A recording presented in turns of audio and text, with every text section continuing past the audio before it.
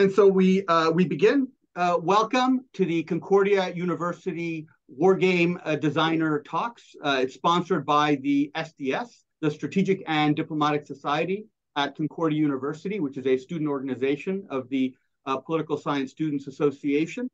Uh, today, I'm very pleased to have Professor David Isby, who's going to be speaking today about his design philosophies, in particular, the how to model the relationship between uh, China and Taiwan uh, uh, if it were to erupt into conflict. So the way the talk uh, today will proceed is I'm going to give a, a quick bi a biography of Professor Isby, and then Professor Isby is going to give us a short talk on design philosophy, which is going to be uh, uh, covering some general topics, but we'll cover some issues regarding uh, Taiwan and uh, China. Uh, then there's going to be a general uh, Q&A which the audience is welcome to ask questions. And then we're going to take a 15-minute break. And the second half of the talk will be focusing more closely on uh, Taiwan or China or any issues uh, that come up uh, in the discussion. So I'm going to proceed now to reading the biography Here we go. So Professor David Isby is a Washington-based attorney and national security consultant. He completed a history degree at Columbia University, an MFA at Goucher, and a JD at New York University. He's written or edited 26 books and over 350 articles on national security, including three books on Afghanistan. A special correspondent for Jane's Intelligence Review, he has contributed to many military and aviation publications and written extensively on the Russian armed forces. He's been an adjunct professor of political science. In 1970, he became the first employee of Poultron Press, which went on to become Simulation Publications International, SPI, where he often worked as a game researcher and developer. He's a prolific designer of 21 war games, in particular of Air War, Mukden, Invasion Sicily, as well as having published a book, uh, War Game Design by Strategy and Tactics Press, and he was also an editor of Strategy and Tactics. Isby has testified before both House and Senate committees, has appeared on many television news programs, and has lectured at many military colleges. Since 1980, he's done extensive research on Afghanistan and was even condemned by the Soviet government for his writings on the subject as a, quote, bourgeois falsifier of history and, quote, a CIA agent with whom accounts will be settled, close quotes. So I'm very happy today to have uh, Professor uh, Isby. So let us uh, have your uh, PowerPoint uh, presentation uh, loaded. There we go. So Professor Isby, we're delighted to have you here. Um, the PowerPoint presentation is now visible. Um, please share with us your war game design philosophy. well, such uh, such as this. Thank you uh, very much. And uh, as you uh, said, in the old days, I would be able to, I could take the future, turn it into paper and cardboard, box it up, and sell it to people for $15 a pop. At least I could back in the 70s, when playing, designing, and thinking about war games were my major preoccupation and during the 1973 Arab Israeli War, we, for the first time, a war game was designed while the fighting was still in progress. And this was the game design equivalent of spearing a rolling donut. So, as we talk about you know, Ukraine and potential China Taiwan, that's what we were doing almost uh, 50 years ago. So, uh, we had designed games at SPI in the 70s such as NATO Divisional Commander, about a sign East is Red, which is about a Sino-Soviet war, and one I designed about air war, current and future air combat. You know, so the uh, even if you can't buy them fifteen dollars new anymore, the potential and limitations of war games for thinking about future or current conflicts is real, and playing the games does take time and effort, and it's always going to be easier to read a book, a report, or even something online. But game playing requires you to be an active participant, making results and seeing things go right and, much more often, wrong. Now, designing a game on a current or future subject is challenging, much more so than a historical subject, where any competent game designer will try to make a game where it can turn out like the historical event. Uh, even if this requires bad luck or intense stupidity, you know, this is even though what actually happened was only one was one of a vast, almost infinite number of potential outcomes. You want to make sure that's possible.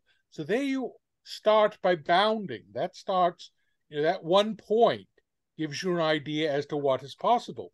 So mo- with dealing with a historical subject, most designers will storyboard a design using using a historical account, especially those of maps showing incremental movement and changes, and using them as a template. They say, okay, does my game enable the same thing to happen? Uh, even though the actual events uh, may not. So there, that gives you a degree of grounding in reality that the current uh, future game don't have to do. One thing which the current game is you've always got to know your subjects. And, you know, I've done, as you said, reference books. Uh, I did one on the uh, Soviet military. I did one with Chuck Kamps on NATO militaries many thousands of years ago. And so I'm well aware of establishing the basic facts of the situation. And for games on Ukraine or Taiwan, that's going to be very hard to establish.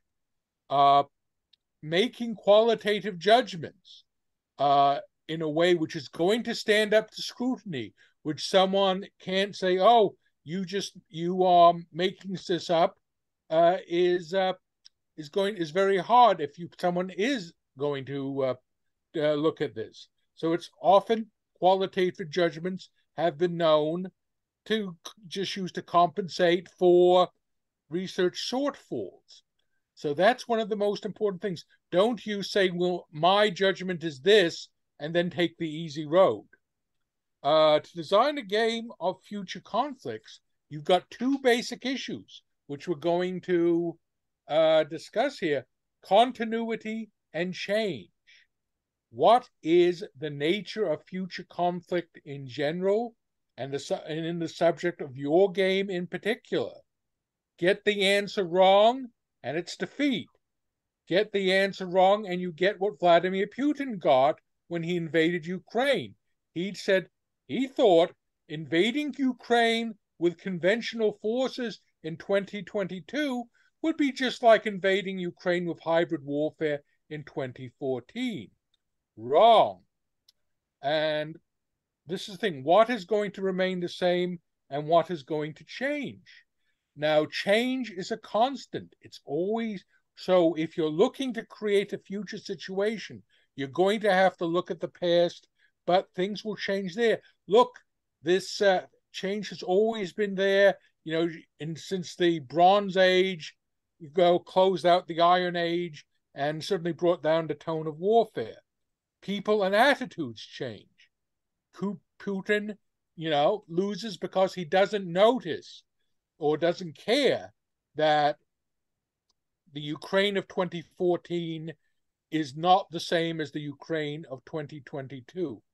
Winston Churchill restarts his political career and gets to uh, and gets to be the man of 1940 because he recognizes that Adolf Hitler is not the Kaiser or Louis XIV or Napoleon, but something very different. So that's key, you know. Putin had his continuity, Churchill saw the change. Uh, so what, you know, that's sort of obvious. One thing which is going to show up always is warfare remains a fundamentally, indeed terribly, human enterprise, shaped by both continuity and change. This is why in classes today, Thucydides is still assigned reading his portrait of the Melian debates maintain a model of statecraft in conflict, despite thousands of years being what we call in Washington left of bang. You know, in Homer, you know, it's the Bronze Age, but the same cruelty, pain, leadership, phylax angles, and stupidity depend on and off the battlefield. Uh, that reappeared in Ukraine this year. And if you wanted to uh, redo, uh, you know, the sulking of Achilles in his tent uh, with Russians trying to steal refrigerators out of old from old ladies in the Ukraine, that's probably pretty realistic. So other elements of continuity are less literary and easy to incorporate in game. We were, we were talking just uh, before this. If the fighting in Ukraine sometimes looks like the trenches in the Third Great War or the trenches in Petersburg in the American Civil War, that's not surprising. Untrained soldiers will simply create the casualty list. Direct fire weapons can, except if they're brought to close enough range, become very lethal unless you were behind a lot of armor plate or dirt. So there is a lot that's going to, so you have to say, you've got both the continuity and the change. And the challenge for you is to come up with a cohesive view of the nature of future war that does both of these. And also, when you sit down, having this idea, you have to decide, and you get to, you know, this is your decision, what decisions, experiences, lessons, insights do you want the players to have? Transforming the idea of a future conflict into an actual game requires a purpose this is not the same thing as asking what the game is about. Uh, there is room in the world for many different China and Taiwan games. Just as there are lots of games about Waterloo, Gettysburg, or the Battle of the Bulge. And if someone says, I want a game about you know China and Taiwan, it could be about statecraft, international diplomacy, economics, including the potential effects of sanctions, coalition building, as well as the operation, military operations and tactics. Now, all of these would be different games. And, you know, I was just, when we get later on, I'm just going to run through, you can do lots of ways to do that. Is so a game could be about how Taiwan, as part of a coalition, would use multinational or national institutions to maintain the status quo and try and bring the international order to its aid, portraying the Chinese as a unitary revisionist power, bent on overtraining and chaining the national international order and carrying out a conflict of imperial extension. From the viewpoint of China, you can you could design a game in which you aim to secure yourself and determine your will both internationally and internally. If there's a game about military operations, you have to address you have a challenging thing of you have to address air, land, sea, cyber, space, all the multi-domain operations, as well as high-level decision making, and you know which is necessarily going to be complex. Is it going to be a tactical game you can get on? You can go to a narrow focus and saying, can you turn Taiwan into a giant version of Iwo Jima? Is there going to be a prolonged guerrilla or counterinsurgency campaign? And similarly, you know, use of air and counter air combat may prove uh, decisive in a war in Taiwan. And this would include the use of ballistic or cruise missiles amphibious operations normally fail if the enemy has air superiority. Seriously, if there's a blockade is going to work, requires naval and undersea combat. So any desire designer trying to incorporate these has to understand the technologies involved and also a way that these are different than the terrestrial land combat, which normally dominates our thinking about war games. So, one of the most important decisions a game designer must make is deciding what about his subject has to be explicitly included and what can be built into the game or its rules of mechanics. One of the most common failures in game design, and there are many of them, is to include so much that the game basically collapses from its own weight. Even projects which have massive amounts of resources have ended up that way, such as the Department of Defense simulation design effort in JSIMS. It became, to use the familiar Washington acronym, a wombat, a waste of money, brains, and talent. So it's so very easy to do that. Similarly, if you see something that works in a game and you are familiar with, you can incorporate it. These are as open to you as the colors of an artist's palette. If you are familiar with a wide range of games, it's better yet, you see how other game designers have captured complex realities and turned them into usable game mechanics. Even better, talk to the game designers. They usually don't bite too much. And it, once you've done this for a while, you play a game and you come around saying, that's good, but I can do better. Then go out and do that. And if all the things I miss from the 1970s, the ability to play a game and say, that's good, but I'm going to do better, is perhaps the thing I miss most. Now, game designers tend to have the experience of playing games which have which are good ideas, interesting subject matters, but flawed rules. A lot of flawed rules out there. And most game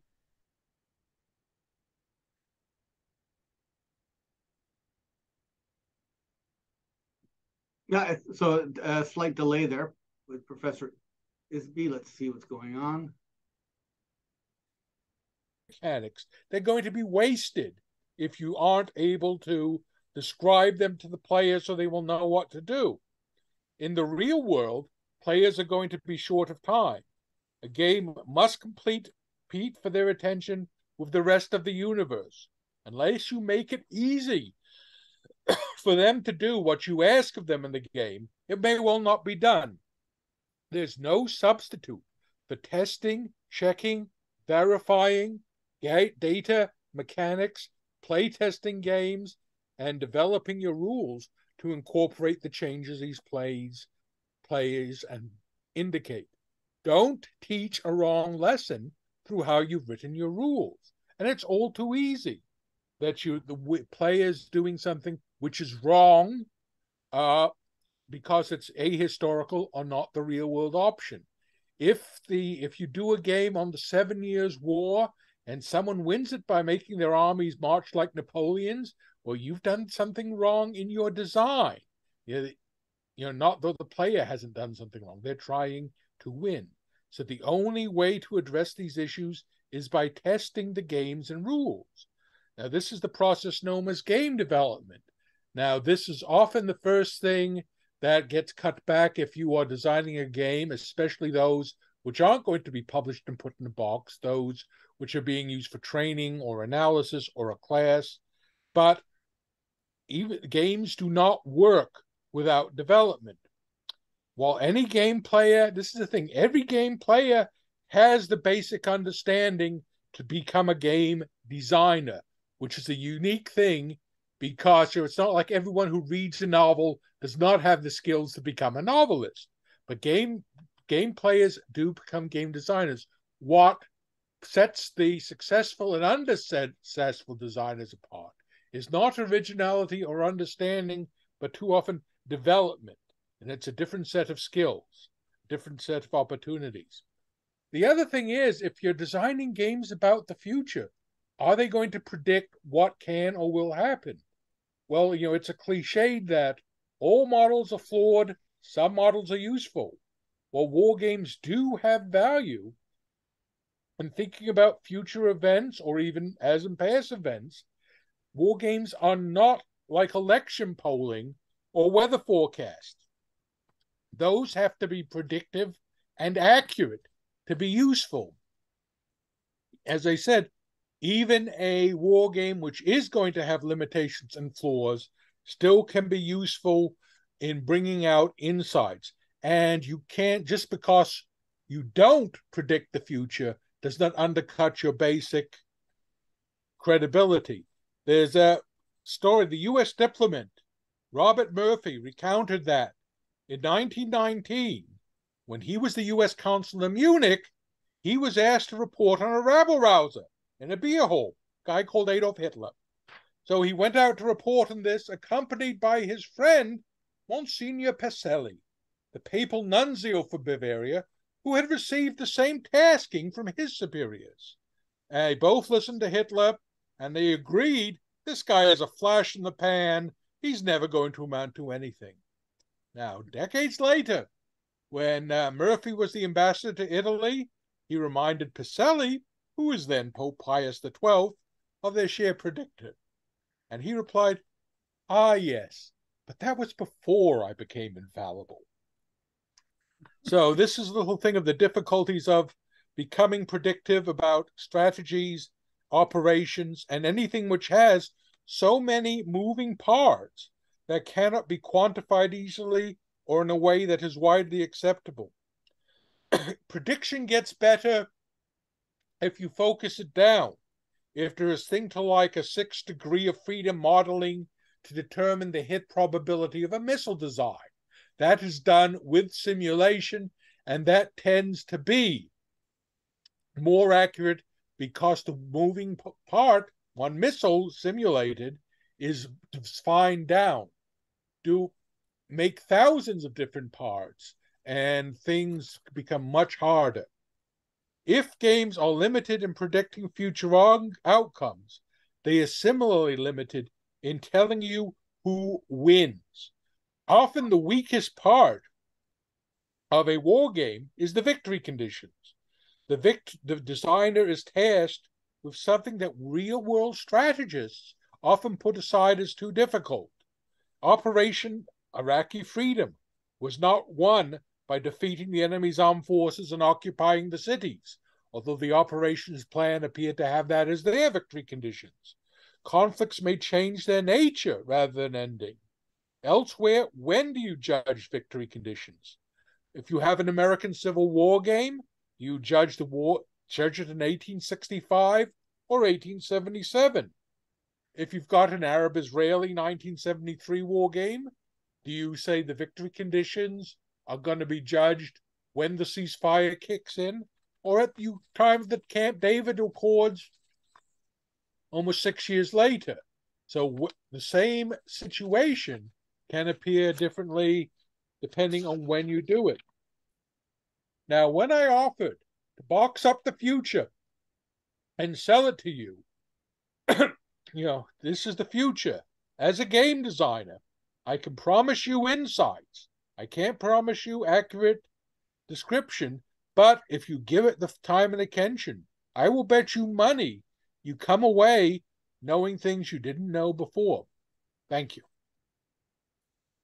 Thank you, uh, Professor Isby. I, I, was wondering, uh, um, uh, your talk um, uh, didn't coincide with your PowerPoint, so I was wondering. Uh, I didn't you... use the PowerPoint. You want to go through the PowerPoint? Well, I thought because it has a lot of elements to do with uh, China Taiwan, do we actually want to save the PowerPoint for uh, the second half? Yeah, let's do that. And okay. uh, I'll answer your questions and uh, then we'll oh. go through. We'll just run through the PowerPoint in the second half and I'll answer questions as people, things come up then, you know, rather than wait if people want to talk as I show the different slides. Well, what I'd like to do first is uh, something which I uh, which I was going to say for the second, which I'll do now, which is actually go through the games that you've designed. Um, could you uh, please stop uh, sharing? I'm going to see if I can compel that. Oh, stop part. Yeah, so I, I'm going to stop you from sharing. And what I'm going to do is share my screen. Um, there we go. I'm going to share my screen and I'm going to take us through uh, some of your game designs, just because I think this will segue well into the philosophy of design, and because you've done a, you, you've you've done a great uh, number of games. So uh, these are of, of course a selective, uh, uh, sorry, a subjective selection by me. Uh, but I think your premier game is Air War. This is the cover for it. obviously, we have simulators today, but even even with um, modern simulations, it's it's very debated. You know what the sortie rates are, as well. Um, I've not the, the the Warsaw Pact practice of creating 200 mile long uh, uh, aluminum foil corridors for their attacks. I've never seen in in a sim, in a in a computer war game. I've I've seen it recently in the, in GMT's. Um, uh, uh, I think it's Red Storm. So uh, you know, even 2022, we need war games to represent strategic level air operations, which are not yet done uh, yeah. even by computer war games. This is it. Yeah, that's oh. Now that's uh, see, I could have done better if uh, you know he these miniatures which is one of the examples of miniatures. But when you have a hex, you know, here these guys are also moving over hexagonal uh, grid. And of course, one of the problems of air war games are this is a flat map, and you have three things which move up and you know move, pitch, yaw, and roll three dimensions, and yet you have a basically planar playing space. So uh, it is difficulty and it has people still, but there are advantages to actually making people say, now here are the forces involved, saying this is how an aircraft will function in these things by use of mechanics, you know, which you read and move rather than that in a flight simulator program. Now, there are lots of good flight simulator programs, and they have they are used by people who can't fly airplanes. But and however, they know how to manipulate the controls, but this way you are involved in the process of doing it. It's so it's not about uh, a black box, but one which forces by forcing your interaction. That's where a lot of the learning experience is.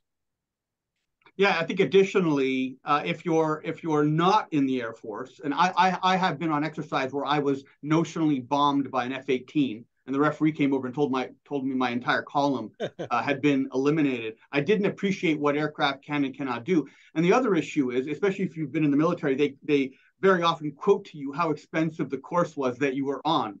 Uh, pilots are very expensive. Uh, war games, uh, uh, again, with a hexagonal map are an incredibly cost-effective way of teaching. Um, you don't want pilots doing this. Uh, uh, they have other things to do. Uh, so, of course, there's also your uh, Sixth Fleet, um, and you know, it, it, I, I, always found the Mediterranean fascinating because uh, we can we can associate the geography with um, uh, Navy design. And I, you know, I, I've often told my students that I think the Italian Navy is probably the best tailored uh, uh, regional fleet because of the way that it's built to fit in the Mediterranean. A major part of, of your contribution to wargaming is the First World War.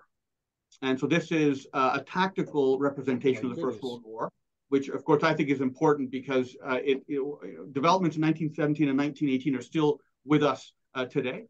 Uh, you worked on Tannenberg.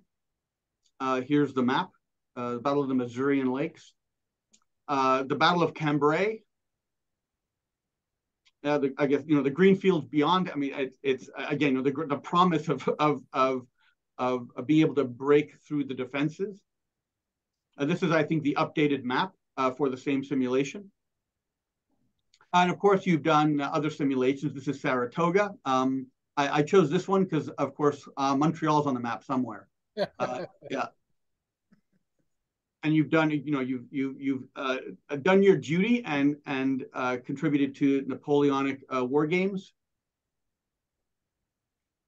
and of course uh, you've done a selection of uh, uh, conflicts in the Second World War, including the the Battle of the Bulge. I include Mukden here because this is one I played quite a long time ago. Um, you know, obviously, what was a war game then today still influences um, uh, Russian-Chinese relations. So this is just a, a, a, selection of some of the uh, war games that you've designed.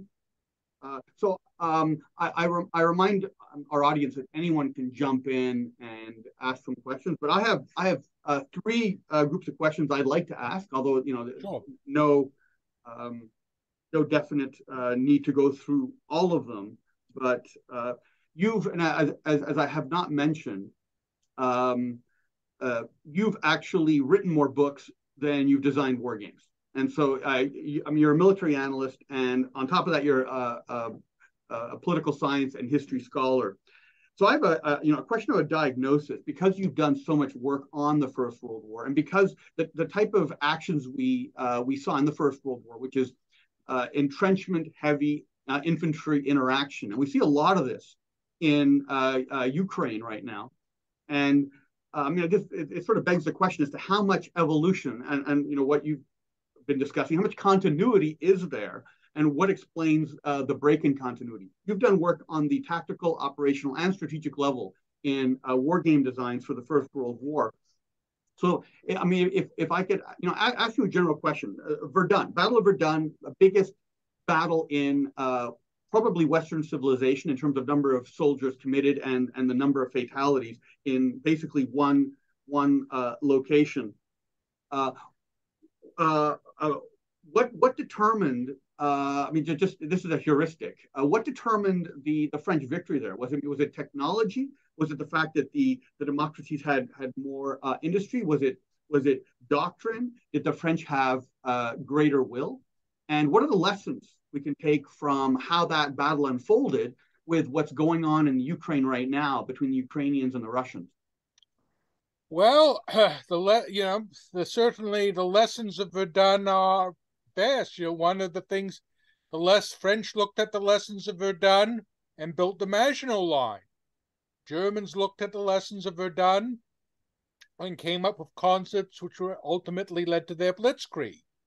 Uh, other lessons, perhaps, one which might be thing is the French were able, to, the Germans set up to have a Materialschlacht, a battle of material, battle of attrition. Even though they said the French have lost almost all their coal, steel, a lot of their population was trapped behind our lines, and we're now using them for slave labor. So they can't stand up to it but the French were able to be plugged in to you know the global economy. They were able to bring in uh, they were able to bring in raw material, build up their industry, and prevail in a battle of attrition. And indeed, a year or so after Verdun, the French could not only produce more than the Germans could, they could equip the U.S. Army because even though the United States was the world's biggest economy, they weren't very good at producing weapons.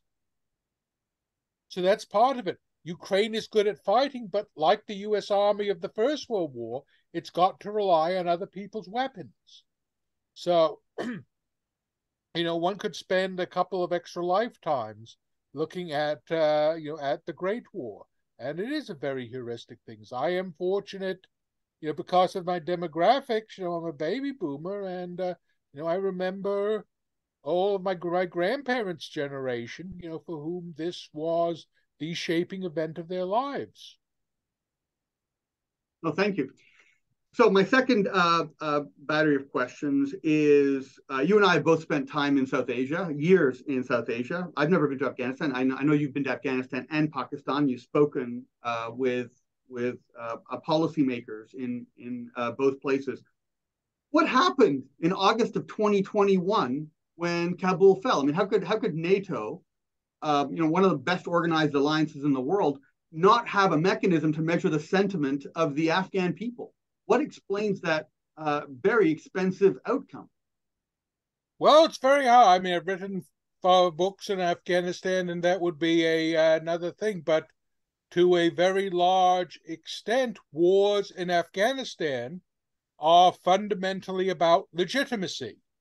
And in when the United States decided basically that with the Oslo Agreement, they were cutting a deal with the Taliban and undercutting the government in Kabul they had supported and put into power and relied on them from day to day, that basically uh, started pushing things downhill. and there were a number of other changes, the the problems certainly in uh, in Afghanistan and uh, within Afghan politics. So there's a lot that uh, you know was there reducing. So yeah, I don't like spending uh, weeks, uh, you know, spending a couple of weeks sitting at my computer and just weeping as I start reading the uh, the Twitter feeds.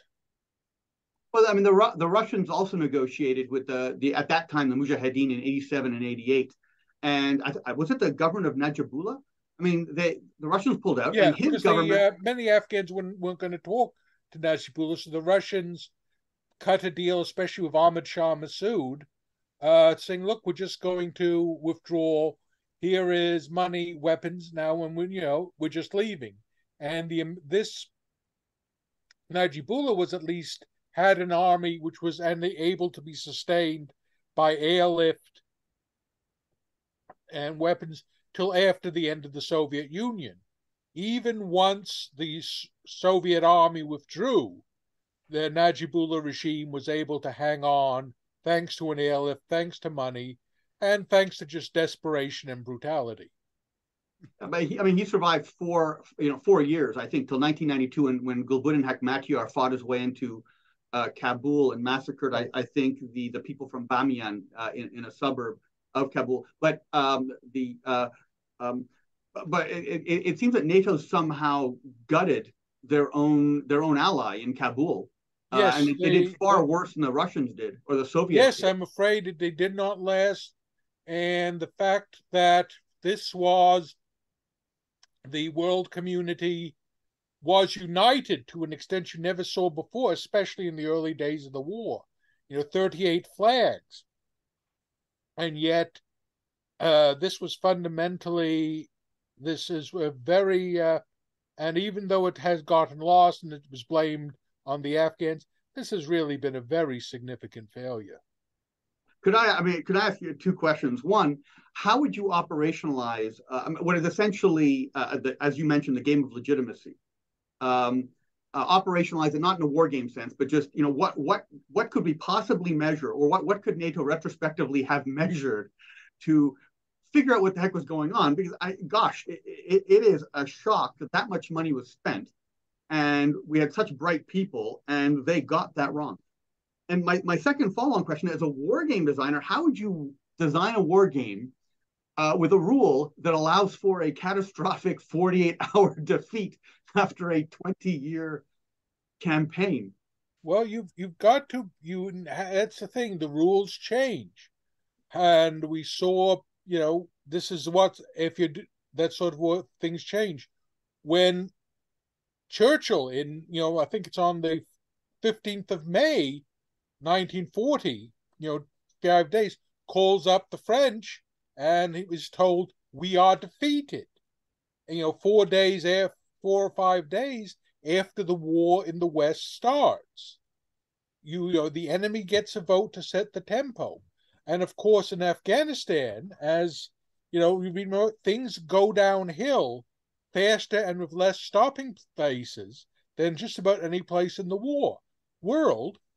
The reason is because of the shortage of resources, the shortage of trained people. There are no backups.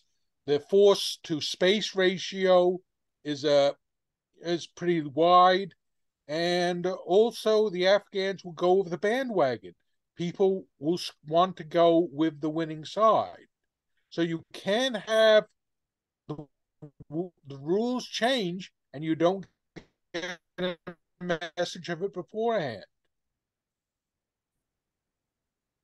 May, may I ask? Sorry, a, that's insanely oversimplified. That's an extremely oversimplified view, but uh, you know, like I said, once you know, a war. If I was designing an, I wish you know, I have not designed an Afghan war game, but one of the key things would be just moving the meter of legitimacy, both for for the government in Kabul and for the uh, different pl- and for the different uh, sides fighting. And if you know you had each turn as a year, I'm sure you wouldn't see great most of the time great tactical movements or encirclements, but you'd aim to try and you know move the uh, move the needle of legitimacy in your direction and uh, do things like development and economy. In the end, Afghanistan is you know is not economically self-sustaining. No, that I mean that's true. It is it is very dependent on on uh, foreign assistance. Uh, could you speculate again? This is sort of the real uh, policy world. What could NATO have done to not lose? What could it's the wrong? We played the wrong game. We sat down. What is the game? Remember I saying China, Taiwan? Think what the game is. The game we were playing was something like Volko Ruhnke's a Distant Plain, an operational counterinsurgency. What we should have been playing is, an, is in the first few years of 2004 an international level simulation in which the United States could have pulled together people who are not part of its coalition today, like China, like Iran, and Pakistan. Could you have? Now this is a game I would like to see in in pre two thousand and five. If you had offered Pakistan something like, you know, the equivalent of the JCPOA, which was Iran, saying, "Here are your goodies. We understand you have valid security interests. Here is something we can help you, and we got your Chinese people sit, friends sitting with us and your Iranian neighbors who you really don't trust sitting with us, and this is what we're going to offer you. And that never happened. Play which game you sit down to play is crucially important. And we say this with China, you know, when we look at China, Taiwan, what what do you want to do? Is it one which everyone is a different country, or if everyone just you want your convincing saying all right, let's turn Taiwan into a giant Iwo Jima. If, if I may extend that question to, uh, uh, you know, a, a, parallel case, there's, I think it's like 35, 40 million Afghans, and there's about 25, 30 million Pashtun who live in Khyber Pakhtunkhwa in Pakistan. Uh, Pakistan seems to have a far fewer problems governing that population, even though the population initially sided with Gandhi and were against the creation of Pakistan. So it's it's it's a marginally hostile population to Pakistan. The British essentially gave Khyber Pakhtunkhwa, uh, uh, you know, the Khyber Pass region uh, province, Northwest Frontier province, formerly, uh, to Pakistan. Uh, what is it that the Pakistanis are doing or uh, did correctly that NATO did incorrectly? Well, it's a very different thing. The Pakistanis have you know, it's the dynamics of a Pakistani government. With the, you have, of course, the role of the military, the role of ethnicity, uh, Punjabi, and uh, of course, it's not just these days. It's not just uh, you know the Khyber, what we used to call Northwest Frontier Province. You know, Karachi has become this vast conurbation with a tremendous uh, Pashtun population.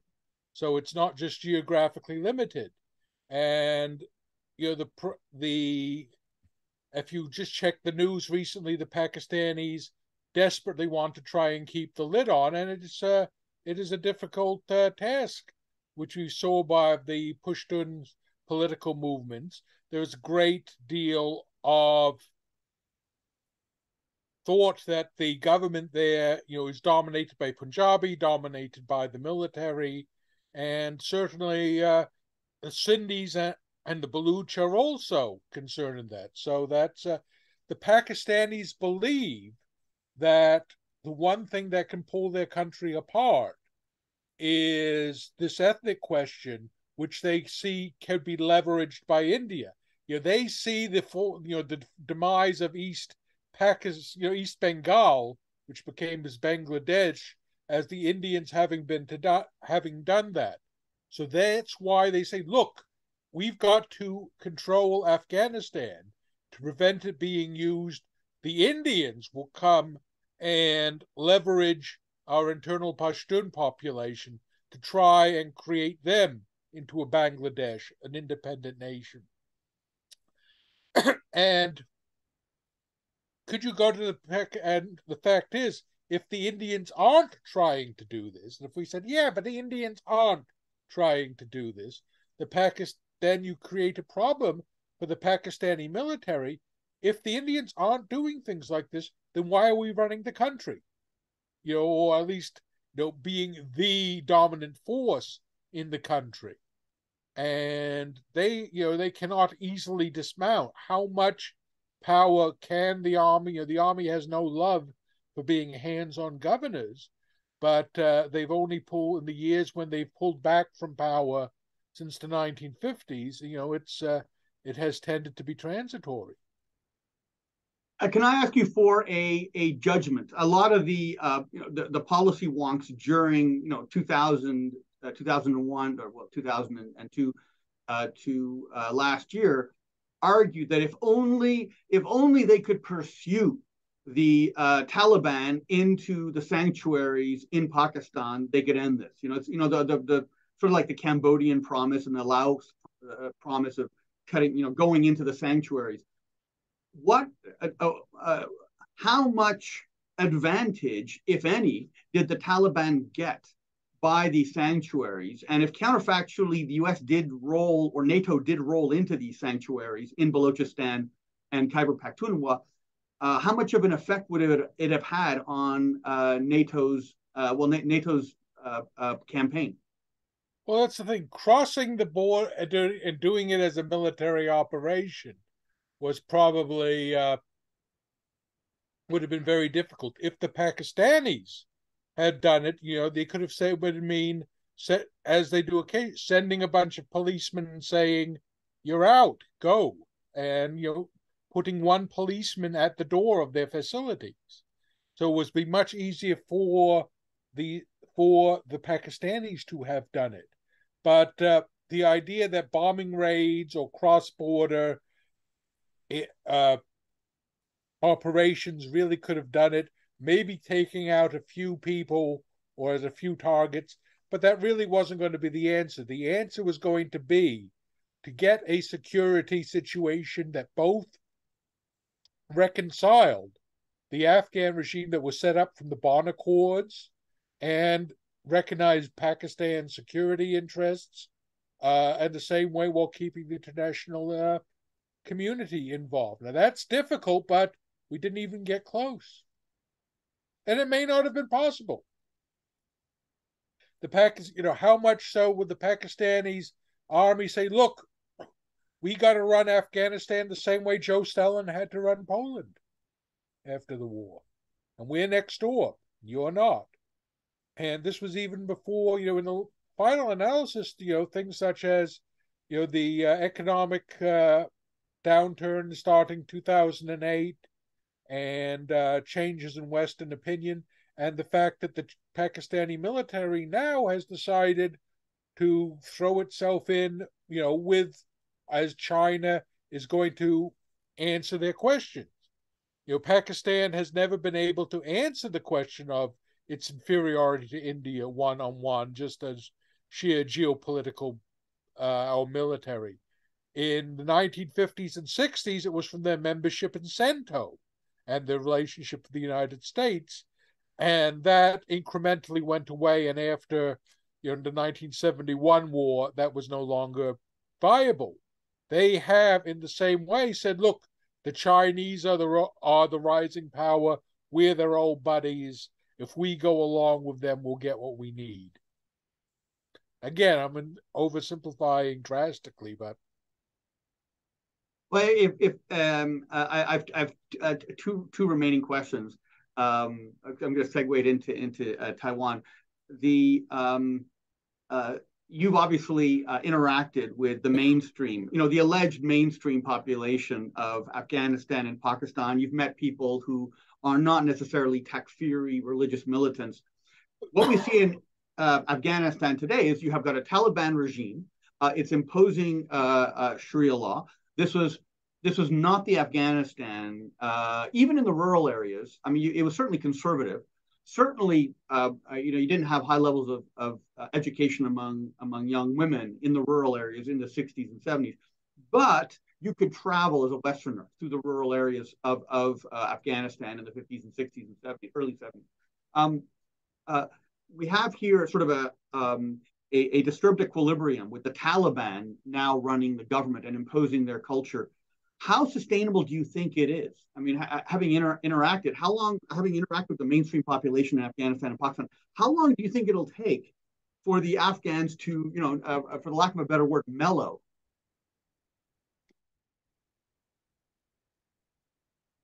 Yeah, Professor Isby.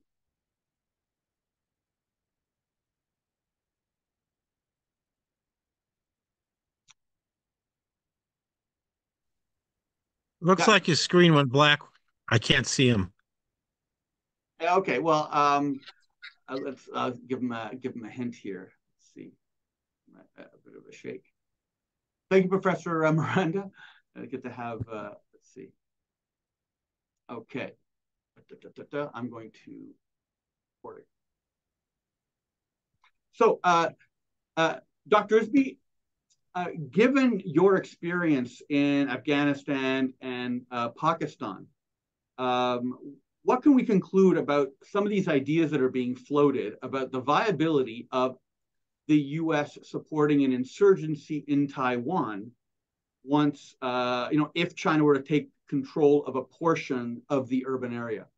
what, what what's the prospect of that uh, strategy? Well, it's certainly difficult. Uh, the uh, West's record with the support, if you don't have a contiguous land border, supporting an insurgency becomes uh, much more difficult. And yes, uh, you know, bringing in arms, equipment, and of course, whereas uh, in many places like you know, Pakistan or Afghan border, a low level of development. Here in Taiwan, the country, the people, and the industrial base are part of the objective, which really wasn't the case as much in Afghanistan or many other insurgencies. So I think just as our relations to uh, people inside, you know, China are problematic, or people now inside Russia who uh, how how you would support them in a uh, sustained conflict if the key parts of Taiwan are actually occupied by the Chinese is problematic. yeah, I would agree. I think it would be a, a very dangerous and foolish idea. Um, uh, having played Professor Miranda's uh, simulation of the 56 revolution in Budapest, and of course, you know, the huge numbers of losses, I think almost a quarter million Poles were killed in the Warsaw Uprising uh, at the end of World War II. I mean, it's, it's, uh, uh, it would be catastrophic for the uh, Taiwanese civilian population. So I'd like to ask you a question about Ukraine most of your publications were uh, Cold War era, focusing on the Soviet Union and uh, conflicts uh, uh, uh, conflicts in the developing world between American and Soviet-backed allies. How on? I mean, how would you characterize just generally the, the type of combat that is occurring in in the Ukraine? Well, it certainly differs from what you know the projections of a very large conventional war uh, in Europe. In fact, there is a large genre of literature of what a war in Europe would look like. And uh, this doesn't really fit uh, many of them, although perhaps closer to some of the things we saw in the Balkans in uh, previous uh, decades. But there is still, from the Russian side, an awful lot of continuity with the Soviet models. Uh, and part of it is how do you get military power with a limited economic base? You know, on the day the war started, as the the Russian economy, in terms of money, was about as large as Spain and Portugal put together. Now, no one is afraid of Spain and Portugal put together. Indeed, they find it hard to get the European Union to answer their calls. So this is was reflected by doing this. They want to have lots of things in the shop window, exercises, you know, lots of tanks, but it means things like undercutting logistics, which leads to things like the logistic failure as they tried to advance Kiev in the early days of the war. And we can see this in the Soviet model too. The Soviets relied for many of their uh, supplies at echelons above division on mobilized civilian transport. So in the 1968 invasion of Czechoslovakia, they had to mobilize all the trucks in what is today Ukraine, Belarus, for their invasion, and it ruined the harvest. So there was widespread food shortages because the trucks they were relying on to take the grain to the cities ended up having to support the army uh, in Czechoslovakia. May, may I ask about about the? Uh, I mean, you raised the issue of the economic base. During the Cold War, I believe the IISS estimated the Soviet economy at three trillion, and then the moment the Cold War ended, collectively they cut the numbers in half. And so it's almost as if it, you know, essentially it's been a guessing game. People have been giving attributing to, to the Soviet Union numbers that people think should fit it, but really there's no methodology uh, uh, to measure that. Um, uh, I, I, I, frankly find it. I, I actually don't think the Soviet Union, uh, rather Russia today, is as weak on paper as you know the equivalent of the Spanish and the Portuguese economy, or less than the, the British economy. I think it's just poorly measured. Uh, what do you think about that conjecture? Well, a lot of it is, and of course, much of the uh, what they apply for defense is so much, you know, not in a defense budget, you know, which meets NATO definitions, but embedded to alternate sides of the economy.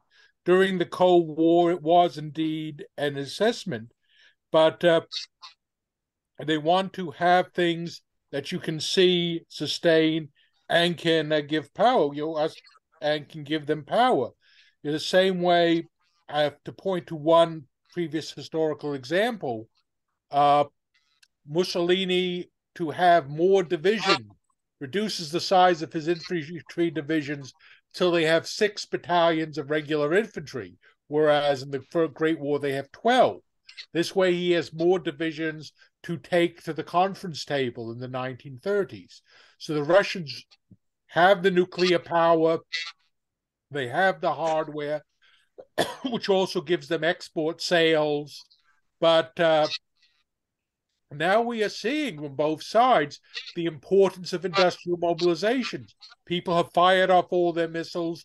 The Ukrainians desperately needed need more weapons, and yet neither the Russians nor NATO and the United States are able to supply even a localized medium intensity conflict.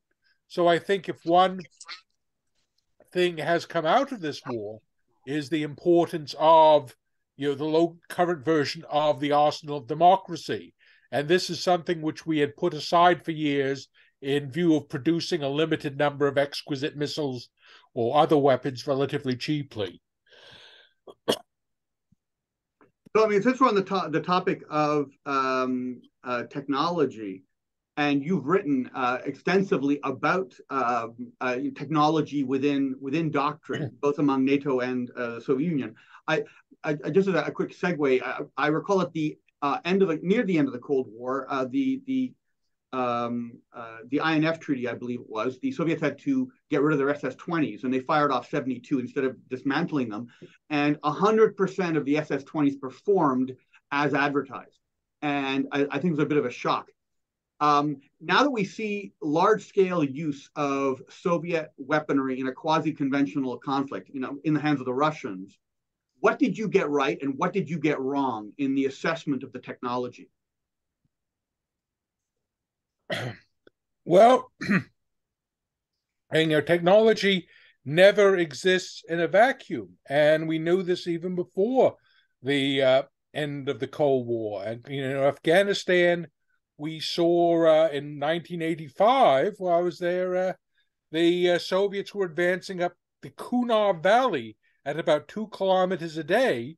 And this was the uh, army that, you know, said, oh, we're going to advance on the Rhine 35 kilometers uh, a day. So uh, yeah, we even know there was a great deal of war on papers. A war on exercise is never like the real war. So that's one thing. Again, continuity and change. Yet we also know the limitations of if you can't pay the money to exercise to be very good, there's going to be a cost. the United States Army is a very high cost institution because they keep people for years to train them, and they have things like sending them to the national training centers, uh, doing these big training, which the so Russians don't have a counterpart. So uh, you know, one of the things where there is continuity is you can't get blood from turnips. Uh, so uh, if, if I could get you to sort of do a retrospective diagnosis in you know the 73 Golan and Iraq 91 it was you know what? There's a problem with uh, Arab social culture Arab training Arab uh, political culture. Uh, and so you know if the Russians had the same equipment they would have done better than the Syrians or the Iraqis uh, what what does what we see going on in Ukraine tell us about the retrospectively the you know how much blame uh, uh, you know, we put on the on the the the uh, Iraqian uh, Syrian doctrine and organization, and how much on the technology?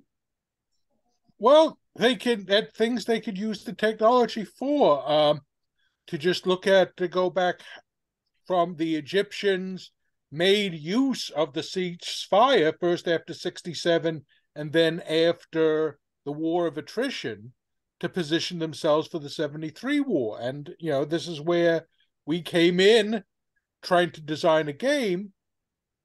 And the end of the 73 war comes about, some would say, six years later when you get the Camp David's Accords and you sign you sign the peace treaty. So what's the game about? Is it the game of nations? You know, how much you have? Or is a game of how is the T62 limited if you don't have a whole bunch of them and working as the designers intended? Uh, but that having been said, you know, people, the Egyptians, uh, from 19 starting in 67, the Egyptians had no bridging engineer battalions. Six years later, they had a whole bunch, and they were actually quite good at crossing the canal and keeping it crossed. And, you know, engineering, being a military engineer is a skilled business, and the Egyptians do not have a whole bunch of people they can draw on, but they were able to do that, especially when you're competing on building an integrated air defense system, which again, they started largely from scratch, and in six years, they built a pretty good one. So here is a country with a lot of problems back then, more even now in their personnel, in their resources. And while the successes were limited, it shows it can be done. I, I, I guess the, the conventional wisdom is that the Arab frontline states fought poorly because they have coup-proofed regimes. And Vladimir Putin's military is also coup-proofed. Uh, you know, because they, although there haven't been that many military interventions by the Russian army, there's the threat of it. Uh, if, if what would counterfactually, if Putin was replaced with a democratically elected leadership with the same Russian population now and the same technology, I mean, uh, how much better or worse would the Russian people? I mean, obviously, counterfactually makes no sense because if you had a democratically elected government in Moscow, they probably would not have started the war in Ukraine. Um, so you know, but um, imagine they had to fight China, for example, in you know uh, around Vladivostok or Khabarovsk. How much better would the Russian soldiers be? Well, that, again, that's uh, certainly different. The Rush political control is there. The Russians have the successors, you know, puff, you know, to this day, the counterpart of their political officers, the old follows on to the old Soviet political officer, even without the explicit communist thing. So political control of the armed forces is something that uh, regime, non-democratic regimes find it hard to uh, bring about. Even in democratic regimes, it is quite often a, a challenge. Uh, especially as you look, you know, places French in the French, you know, in the end of Algeria, in the crisis that brought about the end of the Fifth Republic. So it's not just limited to uh, dictators and banana republics. So how you can embed automatic political control, I don't know. But a uh, a future democratic Russia, where is the continuity and where is the change? That's something. This would be something good for a game designer. We or you might want to have get a bunch of uh, subject matter experts and set up uh, an access to tabletop game, or perhaps a loose a loose Kriegspiel uh, type approach. So a few more Ukraine questions. Did you get the early war situation correctly? Uh, did you think the Russians were going to steamroll Ukraine in two weeks or not? Well, uh, like I said, I was actually, like most people, was looking for a more hybrid warfare uh, sort of threat rather than battalions of tanks going across the border. Uh, and of course, what, what had been the changes, the other things which was less obvious were the changes in the Ukrainian military that had taken place since 2014. Now, we knew they had pictures there had been NATO exercises, there had been increased cooperation. In fact, the supply of a limited number of Javelin anti tank guided missiles had become a major political issue in the United States with the first impeachment in the post regime. So we knew there was something going on, but uh, we really didn't think there was this degree of change. So we had a, a Ukrainian military willing to fight and a Russian less able to. So uh, perhaps the you know the drawbacks of the Russian regime, aside from you know the logistics, you might have guessed. The other things uh, might come as more of a surprise. So, uh, how would you diagnose uh, what what looks like uh, the the uh, extreme, I would say the, the extreme NATO strategy, which is to keep this war going for as long as Ukraine can bear it until there's a coup in Moscow. First of all, do you think that is the plan or, or a plan of some people? Um, and is it viable or hopeless? I mean, some like Mearsheimer say, and Pose, Barry Posen say, no way, it can't possibly uh, turn out that way. No, but I'm a, you know, most wars since 1945 have resulted in some sort of a negotiated settlement. And I would not be surprised if in the near future the Russians go and propose a unilateral, you know, unilaterally say, we're going to do a ceasefire and we're going to, you know, and dig in on these lines. Let's negotiate from here.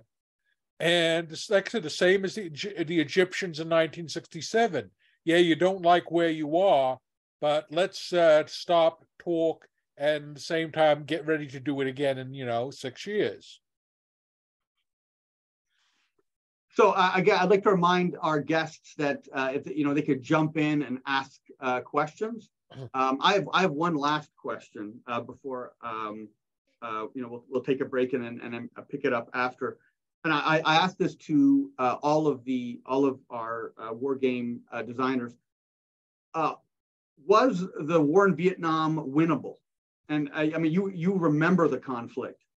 Uh, was it winnable um, if we swapped in the army from 1982 um, instead of or, or, 1992 instead of the army that that we had then? Uh, was there a formula uh, that the U.S. could have pursued that would have resulted in South Vietnam prevailing over the North and being here today? You're probably again playing the wrong game you know, playing the tactical, nice tactical game, play the game of you this one like Afghanistan. If you were going to win, play the game of nations in the 1950s. What could you have offered given to North Vietnam? So rather than signing on with the Russians, with the Chinese to what to you know pay vast amounts to reunify the country, what alternative could you say? Okay, would it be possible these we realize these are your interests let's see how what you can do without uh, destroying everything and costing it may not have been possible And in fact, as we know, one reason why Ho Chi Minh and General Giap, the great victors against the French, uh, lost out in an internal power struggle by the late 50s.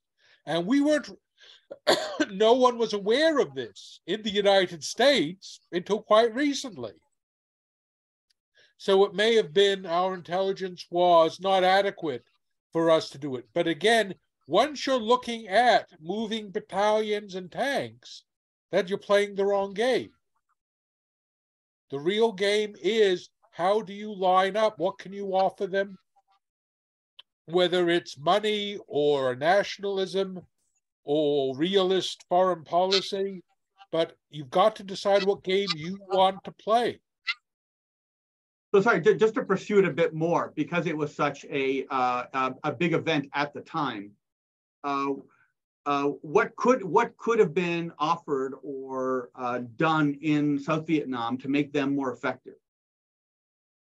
Well, again, it was a particularly difficult thing because, unlike Afghanistan, you were succeeding a you know you appeared to be succeeding a colonial regime and this was, you know, at the high point of late industrial, you know, the ugly American and the late industrial. So really felt that our way of doing the American way of doing things would endure as it didn't emerge like it did in South Korea. Although there it you know took much longer and required you know many decades you know of uh, army or non-democratic rule. So uh, um, are, are you suggesting that um, there's a there's a, a, potential model of success in South Korea?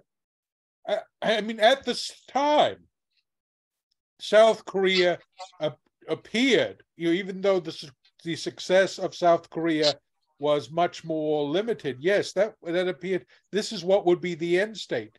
Today, South Korea is a prosperous and democratic country uh, was not the case in 1965. But uh, you know, even so, and today you could say, even though they have a security threat, here is something where the American commitment contributed to stability. All right, perfect. So, uh, uh, Professor Isby, I think we're gonna uh, we're gonna uh, cut it here, and okay, we're back. So Professor uh, Isby now is going to take us on a more fine-grained look at uh, wargaming, um, a Taiwan-China uh, conflict scenario. And for that, we have a, a presentation, and then we'll take uh, questions uh, after. So uh, Professor Isby? Well, thank you. I'm just, you know, we talked about some of the general considerations before of wargaming, the continuity, and change to the degree at which it can be predictive or look provide insights. So we're going to look at what we what kind of a China Taiwan game we could have, uh, from classic operational war games to global or even ones involving individuals. So, uh, you know, this again the game designer has multiple options depending on what they're doing. Uh, you were just talking about if you're doing it for a class and you're looking for one hour to involve large numbers of people, that's going to be a very different solution from one which you're going to put in a box and sell. So and this uh, shows another uh, someone else's Taiwan China game and what are you going to use for these games? And I'm just, for those who aren't familiar, I'm going to talk in terms of the game boards, playing pieces, rules, and subordinate things, displays and indices, which allow you to quantify it, or cards, which uh, can show changes in the outside situation or be used to resolve other mechanics. Now, this is, uh, like I said, I've just picked up a few examples. A basically an operational game of Taiwan, an operational Taiwan, you see the map there, uh, for an operational war game. Notice also that the Chinese coast, you know, it sort of defines what you're looking for. The Chinese coast isn't there. There is an off map display for some of the surrounding regions, but this appears to be a game that's going to focus on a land, on the amphibious invasion. You can see the uh, uh, invasion beaches and uh, where you and how you do it from this. So this is a looks like an operational mil, uh, military approach. Here is something else when you perhaps bring back the focus a little. This now Taiwan in this game is one island. And you're dealing with a larger Chinese, the regional bases such as Okinawa, possibly the Philippines, and uh, you could also need not just be a two uh, sided China and PR, PRC and Taiwan. You know, you could involve this could be a situation in which Japan appears as a player or Korea, uh, other players in the region, Australia, Canada, you could bring them involved as well too as a multiplayer uh, game. But here you see also fewer large instead of covering it with lots of small hexagons, you've got lots of larger ones, and this way you could have more abstracted mechanics uh, for dealing with the air-to-air combat who gains air superiority over the Strait, blockade, who blockade Taiwan with submarines, mining, surface warfare, all these alternatives. Another approach, this again is someone else's game, but here again, we bring the focus closer in to show someone who's having a battle for Taipei. And a uh, you know, certainly a familiar uh, tactical approach. If you look, it has aircraft. And the question is, is this a way which you, as the game designer, you're going to have to decide whether this is something in which the treatment of aircraft, the treatment of naval, amphibious, all this is something which works out the way you want to or the way you think a uh, Chinese Taiwan conflict is going to look like. On the other hand, if you don't want to do the specifics you know, we saw with specific units, air and naval, you could look for a card event driven game. Now, this game is, in fact, is an ancient, uh, is the ancient Mediterranean, but here using pathways and areas for movement and cards to set up events is approach, even though it was the example I've shown here is from the Punic Wars, it is something that would also apply, you could apply this to China, Taiwan, or other contemporary situations. Now, this is another approach. This is from Mark Herman's Churchill game, which has the big, which again uses a combination of a display for relationship between the big three, uh, US, Soviet Union, and Britain, and uh, two more were showing uh, geographical locations, which are shown not with units, but by uh, specific indicators. So while this is an event driven game of inter allied diplomacy, uh, this is something you could have, you know, with the US, Thai, China, and Taiwan. You could easily reimagine this with uh, these showing the indicators. So this is another way you could approach a game with China and Taiwan. Now here is SPI game from the 70s, Canadian Civil War. And it was a stylized display. You see no no map, but they're all pure indexes. This time, the indices, which are normally off to the side of the map board, have here consumed the whole thing.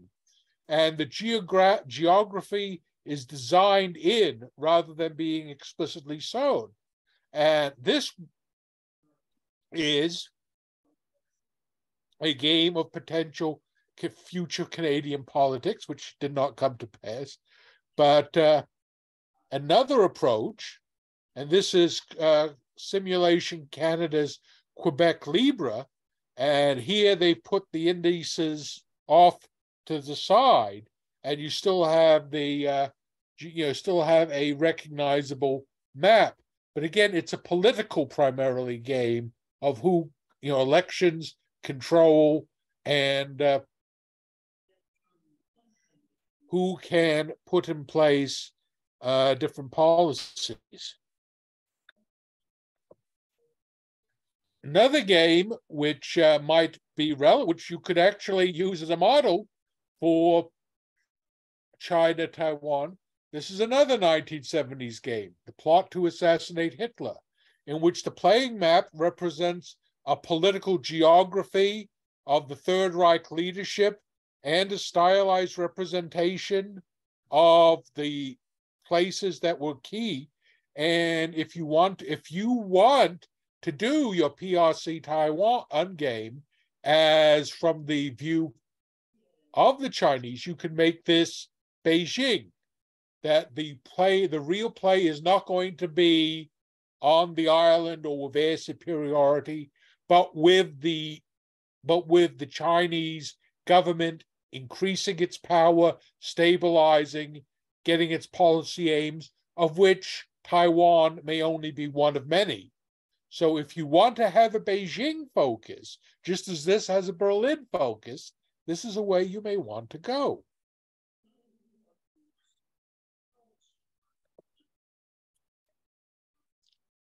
Another option, again from uh, another game designed by a Canadian. This is a game Aftershock. It's a cooperative game uh, dealing with humanitarian relief uh, after an event, which in this case is an earthquake. However, I was looking and saying, gee, the people are all playing on the same side, but have their own different objectives, but have to coordinate and work together.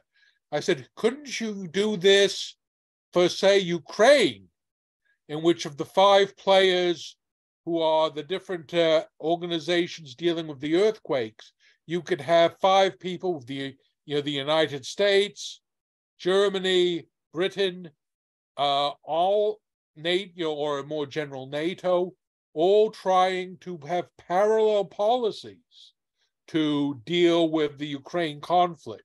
So this is a cooperative game. You know, not one side is not the enemy, but the question is how do you all work together towards a common goal, even when those goals differ? So this again, even though it is not dealing with a kinetic war, yeah, this is something which, if you may wish to do your PRC Taiwan thing, this could work for you. And finally, I'm going to bring the focus way down. This is Le Poilu. It's a cooperative game of infantry in the Great War, in which the players are individual French soldiers. And again, it is a cooperative game. You have to carry out tasks together. You know, there are no German players. But if you want to bring the if you what you want to show is share in the individual experience. Uh, this may be the sort of approach that you could make this instead of uh, French infantry in the Great War. You could go all sort of black cube and do this with Russian infantry in Ukraine. Here and yes, it may involve stealing people's refrigerators. Uh, or how do you fight when you, you know, how do you fight in a war in which you are being left out in the middle of Ukraine with a system that is failing. So, so that is another approach that the game designer can use. Another option is the mat- a matrix game in which you are looking at the relative position of forces and events rather than using a map to specifically carry out uh, military operations. And yes, you could certainly have uh, a PRC Taiwan matrix game, and uh, you know, which again, there are books on this, and it is also you know quite often used uh, to just show some of you know look at one or two key decisions. Now I've used the Balkans. This has the Baltic Sea as a map, but uh, you could easily have China, Taiwan, and again places like Philippines, Okinawa, where there would be bases, a U.S. Uh, where the U.S. Seventh Fleet would be involved. So you could easily put those involved, put those in. Finally, you could say, look, Taiwan, China is only part of a globe more large structure. You could remember I said let's bring the focus real in to the individual in Le you're using Le Poilu as a model. Now going to do the exit, the opposite. Bring the focus as far out as it will go and show games involving the entire world. Yes, and they include Taiwan. If you say no, Taiwan is only a small part of the struggle, whether it's the rise of China or the democracies, you know, or the international changing international order, you can show Taiwan as what is is a small part of a larger process. So this is another alternative for the game designer could approach. So this is another way. This is a way you can do China Taiwan with Taiwan being only a single hex or box. Now, counters. Now,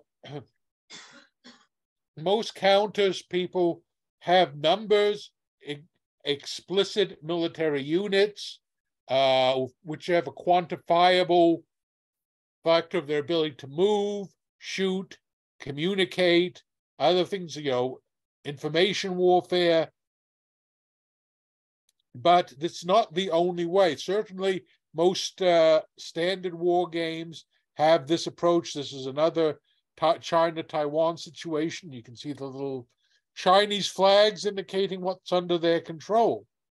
But uh, you could play with other things as well. For example, meeples. Uh, these are used in things, uh, they are used in other games, mainly Euro type games for interaction. Aftershock uses these. This is where you don't need a quantifiable uh, number on your playing piece. Cards. Cards are important. Cards can have a broad range of functions. They can provide information more than a counter can. They can inject, ingest, they can show you events if you have to pick a card every time, could have bad weather, could be a random event. And so it can actually be used to simplify and incorporate things which would otherwise require explicit game mechanics, which will involve more time, more player effort. Rules. You know, wargaming is an act of communication. That's what Peter Perla says. And if you're going to communicate, you need rules. And this is important because in many games, the weak point is the rules. Uh, the thing is, if the alternative is to have, there are other games where you don't need quite explicit rules.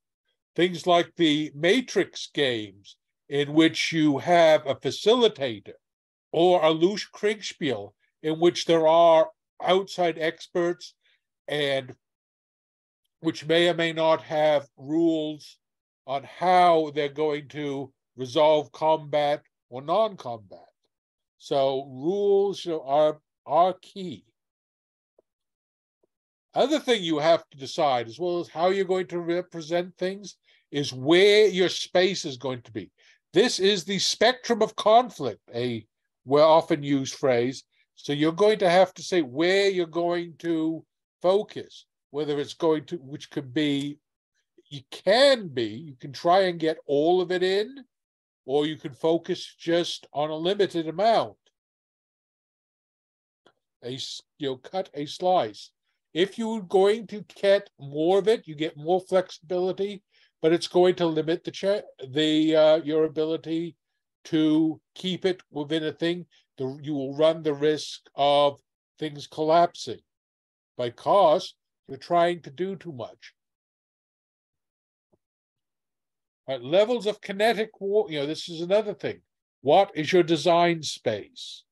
Uh, run from strategic, grand strategic down to technical. And this is sort of parallel to what we were looking at at the different game approaches. The grand strategic, there you have your global map. Down at the bottom, you have your map of Taipei or your Le Poilu, where you're an individual soldiers in an individual trench, and the rest between that.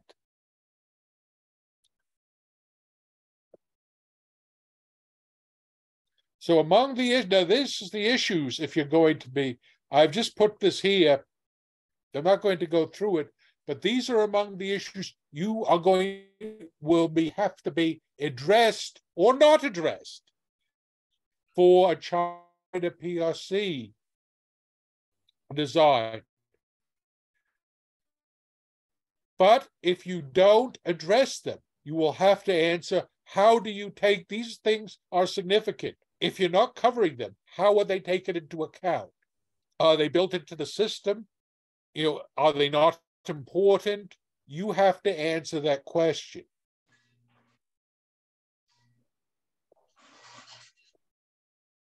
Rules. And again, there's alternatives. Yes, you can have the explicit rules. These are, you know, the commercial war game.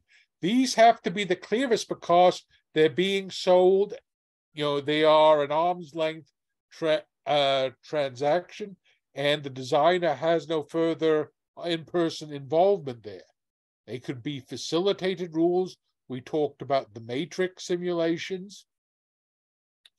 Kriegspiels, which are the adjudication, moderation, with pre-existing charts and data sets.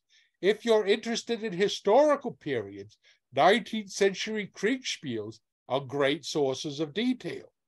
Loose Kriegspiel requires judgment, less reliance on specific rules, but you have to have guidelines. You know, again, usually there are guidelines, and the fact is, many of this may not, many of the things used to guide the adjudication may or may not be true. It depends on what sort of a verification process they've gone through. And these consider what do you expect the player to learn and understand. Again, a one hour classroom game is going to be very different from the thing sold uh, in a box. Which reflects again what the game is primarily for education, training, analysis, enjoyment, insights, or as we were saying before, prediction. So again, these are the things when if you're designing a China Taiwan game, you'd have to keep in mind. and here, what we've got a few viewpoints which you can look at. Uh, for, also, what do you need to be what to be included? And quite often, less is more. If you put in, you know, like I said, as you start putting in things up, complicated as much as you need it to be, but then, you know, no further. Everything needs to be, you know, simplicity is good because otherwise you're undercutting your more overall process. And here, issues of manual war games. There are some things that manual war games do not do as well as computers. Uh, and some of it is it's very hard to repeat, check accuracy. You've never seen a war game with footnotes, even though probably it would be a good idea. Limited intelligence. The effects of planning. And of course, uh, much of the planning process does not necessarily appear in the game itself, even if you're not training people to be planners or staff officers. Logistics, communication, bookkeeping, it does things like ammunition supply are really tend to be very time consuming in a manual war game and should be used very sparingly when the situation actually requires it. And game designers need to answer the question. And like I said, when you are doing your, you know, PRC Taiwan game, decide from what level you want to do it, how you're going to represent it. You've got to answer these questions. What do you want to show? And finally, you've got to test it. And this is one of the more important things. Uh, this is the picture of an SPI playtest session from uh, 1971, and I spent many years in the 70s, especially on Friday nights playtesting games at uh, SPI. And that's how play games differ basically from books, which is you know, there is a specific process for research, writing, and only when you finish a book. A game is basically iterative and reiterative with the players. And without your te- look, I designed a lot of war games. Without play testers, without people to help me, I would have designed exactly zero. You know, the game designer is, in my view, complete, you know, in the at least I was. I was dependent on the people who played the games, saw which of my mechanics worked and were brilliant, which ones were really stupid and collapsed. And then next week, I wrote new rules, tried it again. So that's the thing. I needed that rapid fire iteration. Now, some people maybe that there are gamers, war gamers who are that brilliant. They can all do it in their heads and don't need that. That wasn't the way I did it. And finally, you should all do this. If you hear this, you should go out and design war games, especially of current or future situations. Why? Because it's a lot of fun. It is a great th- thing to collapse and if to create. And if you are a war gamer, you have the skills you need. It's a direct hands-on experience. So uh, I urge you to do that. So anyway, I'd be happy. These are just a very brief run through. Like I said, you've got the. I have. I hope people who are seeing this can go through and look at the view graphs at their their leisure. But I'd be happy to answer questions. Thank you, Professor Isby. I mean, there's a lot to talk about. Uh, I'm going to skip one of the questions in the chat, which is the uh, role of uh, cigarettes in uh, game design which is in your picture. So uh, we've got uh, two questions. Uh, I'm going to uh, first go to see if uh, Mr. Dennis is with us, um, or if he's correcting student papers at this instant. and I couldn't help myself there. I noticed one person had a cigarette, and everybody seemed to be in really uncomfortable wooden chairs. I think that's part of getting people to focus on the game as well. it did not didn't look like a comfortable situation. Um, yeah. So uh, uh the my big thing is on the play testing, right? There's a lot of discussion out there. You know, how much do you need to play test a game? I guess you know it when you see it, but um, you know, there's there's been a lot of discussion back in the old SPI days. You know, complaints about some games not being tested enough, and then other games that were maybe overcooked to the point where um, they were they were stuck in one track and there wasn't a, there weren't a lot of options you could use in some of these games because they were trying so hard to replicate the historical track record. Um, i guess it's not as much of a problem with modern games because you're trying to fight a conflict that hasn't happened yet. But i just want to get your thought on how, how much is enough? Oh and, this is for anybody here joe or, or or chuck or anyone I think it's like I said, it is hard to say.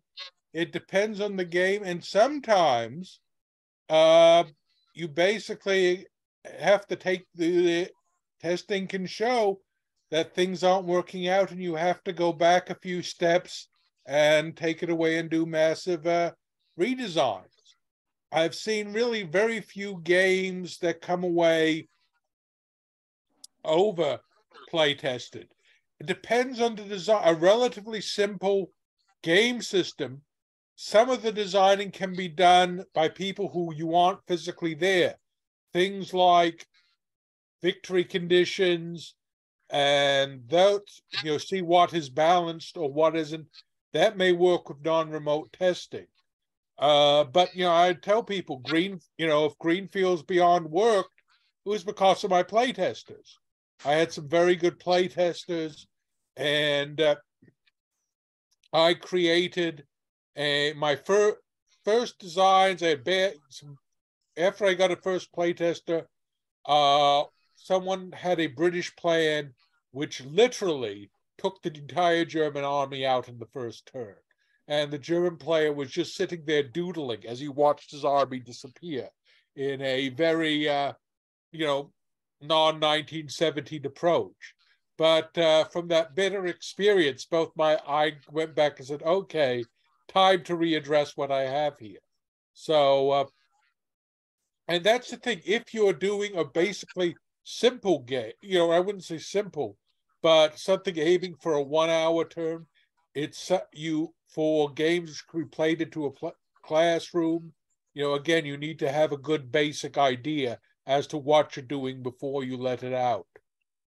For me, it was um, it was more the uh, the idea that when you're a designer, you're so close to the design that you just assume that other people know what you're thinking. And the first time you have somebody go through and say, "Well, how do you do this?" and you say, "Oh, well, it's easy. You just oops, it hasn't been covered in rules." So it's a, it's a check on your uh, your uh, being able to tighten up the design. Uh, can I interject? Please. Uh, what I was going to say was that, like, it seems to me it's always the, the last hundred yards that makes the difference. Where you have to fine tune it to the point where the game actually works and you deal with all the minor errata. So it's like you could you could ninety percent of it's in the design, but it's that last ten percent that really counts that makes or breaks the game. But I also think there's a certain point when you, you realize it's finished, you put it in the box, and at this point, well, that's what we have errata for, you know. Yeah, Um, but just quick question, how many of you have, you know, asked your playtesters to try to break the game? In other words, do something, if it's a historical game, do something, you know, ahistorical to see if it, if it will work, or do something that is defies conventional doctrine to see if it'll work uh, outside the parameters of what you, you were looking. I don't think you have to ask them; they just do it. Yeah, give them Yeah. the victory conditions. And that's when you learn a lot and you're saying, wait a minute, this guy has just won the game doing something that the actual commander did not. Why is this? Uh, and you may say, oh, I forgot, you know, yes, there's something I haven't incorporated, or there is something I am portraying that is not realistic. So, yeah, give them the victory conviction and say, do you know they're gamers. They want to win. I told them don't just you know they and they know that. So they, and if things aren't working out you've got to go back and think why and not just say well you know a bl- not just blame the players or commend the players I, I'm gonna add one other thing. Whenever I play test somebody else's game, if I'm the defender, I always go on to the offensive to see if that will turn the whole thing around on the first turn or two. That's a, that's a great idea. Yeah. Can you, um, you know, of course, and once again, then you ask yourself, maybe they just didn't think of that at that time frame. They didn't realize they had the, the offensive potential to do something if they had, if they had taken the chance. You, I always think of little round top, right? Fixing bayonets and charging downhill.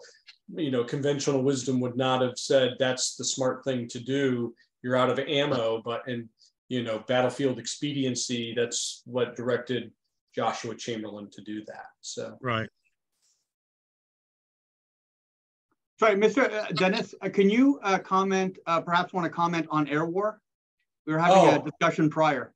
Oh, yeah. Um, like I said, I used to, I used to have Air War. It was interesting because it was, pro- it's probably the most, I don't know if there's been one since that, that I don't know about, most detailed game, at least on modern jet, you know, combat that's out there. And it really forces you to think in, in three dimensions, even though you've basically got, um, you know, these little blue pieces of paper with hexes that represents sky. You don't even really see terrain or anything at, in most in most of the scenarios, unless you're doing ground attack.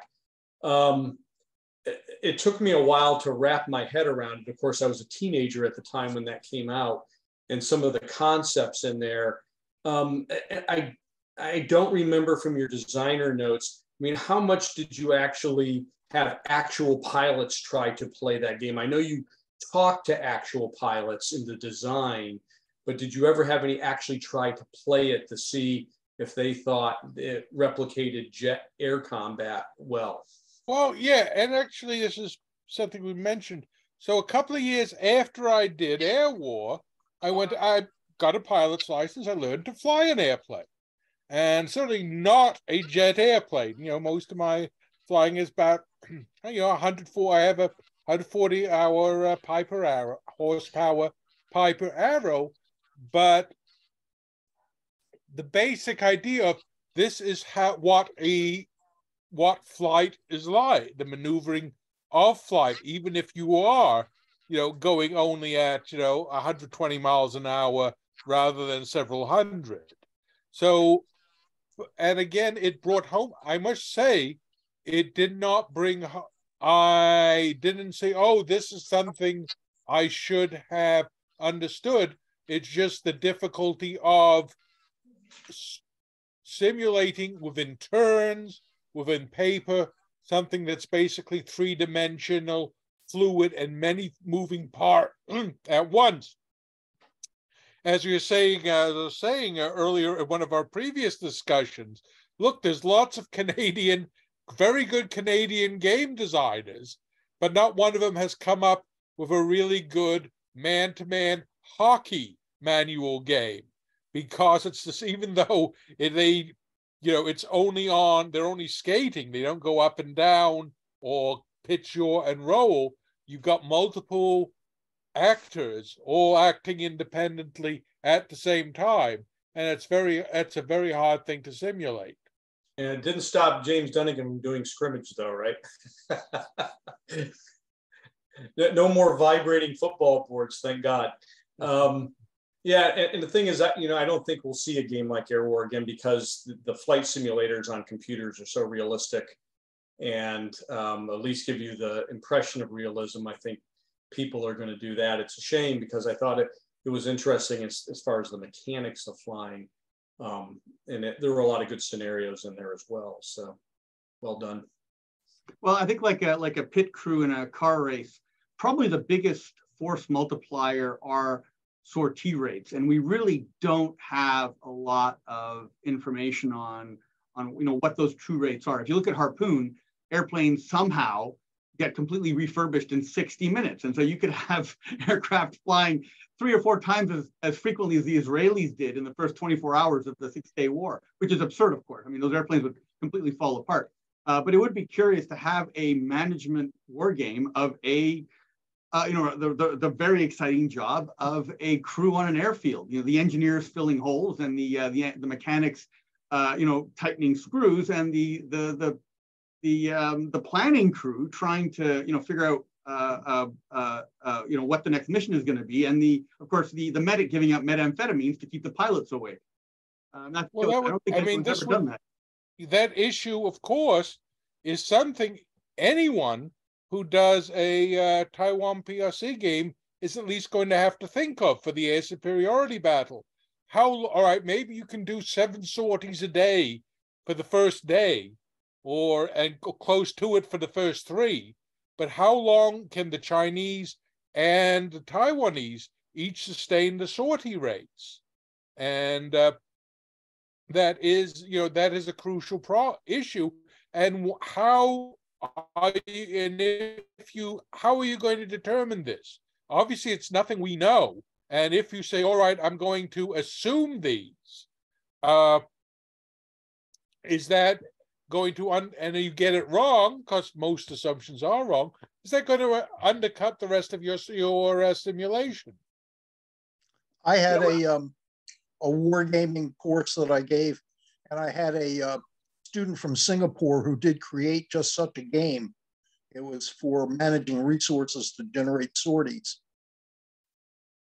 That's brilliant. I imagine I imagine it's a it's a student paper, so it, it's protected by privacy, and I imagine he never uh, or she never published it or made it public. No, it was never published, but I think I still have it around. Yeah, that would be actually actually uh, brilliant. I mean, it's uh, uh, it, it's it's not it's not information that we have available. I mean, I, I think there's many dimensions to it. The Iranians, of course, have kept the F-14s flying, um, you know, by by somehow engineering the, the the parts that wear out, which is fairly remarkable. But that, of course, is a a different skill set than actually keeping them flying um, in sort of an acute sense, acute failure of, of airframe sense.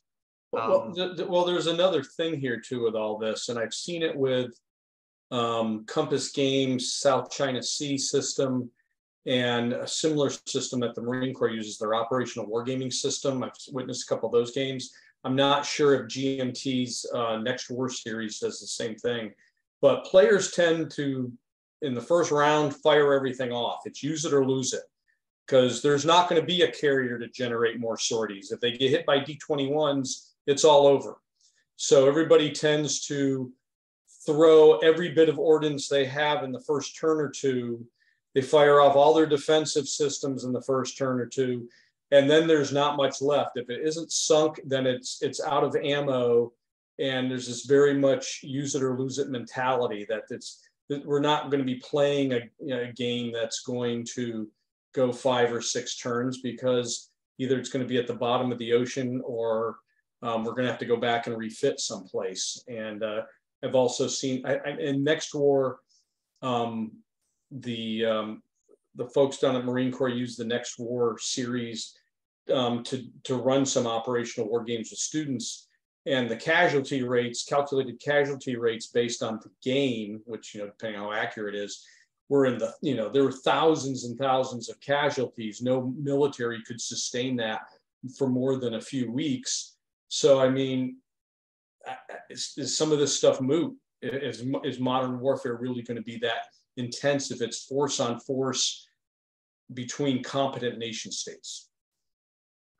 Sorry, Professor Isby, can you can you uh, move your yeah? I think slide? we saw we've right. seen many of these key first couple of issues. Yes, to state we've seen this uh, in Ukraine, in which everyone is, even though it's only a very more limited war, everyone is running out of ammunition, and no one has invested in either the size of the stockpiles and also to do this, or also keeping them secure.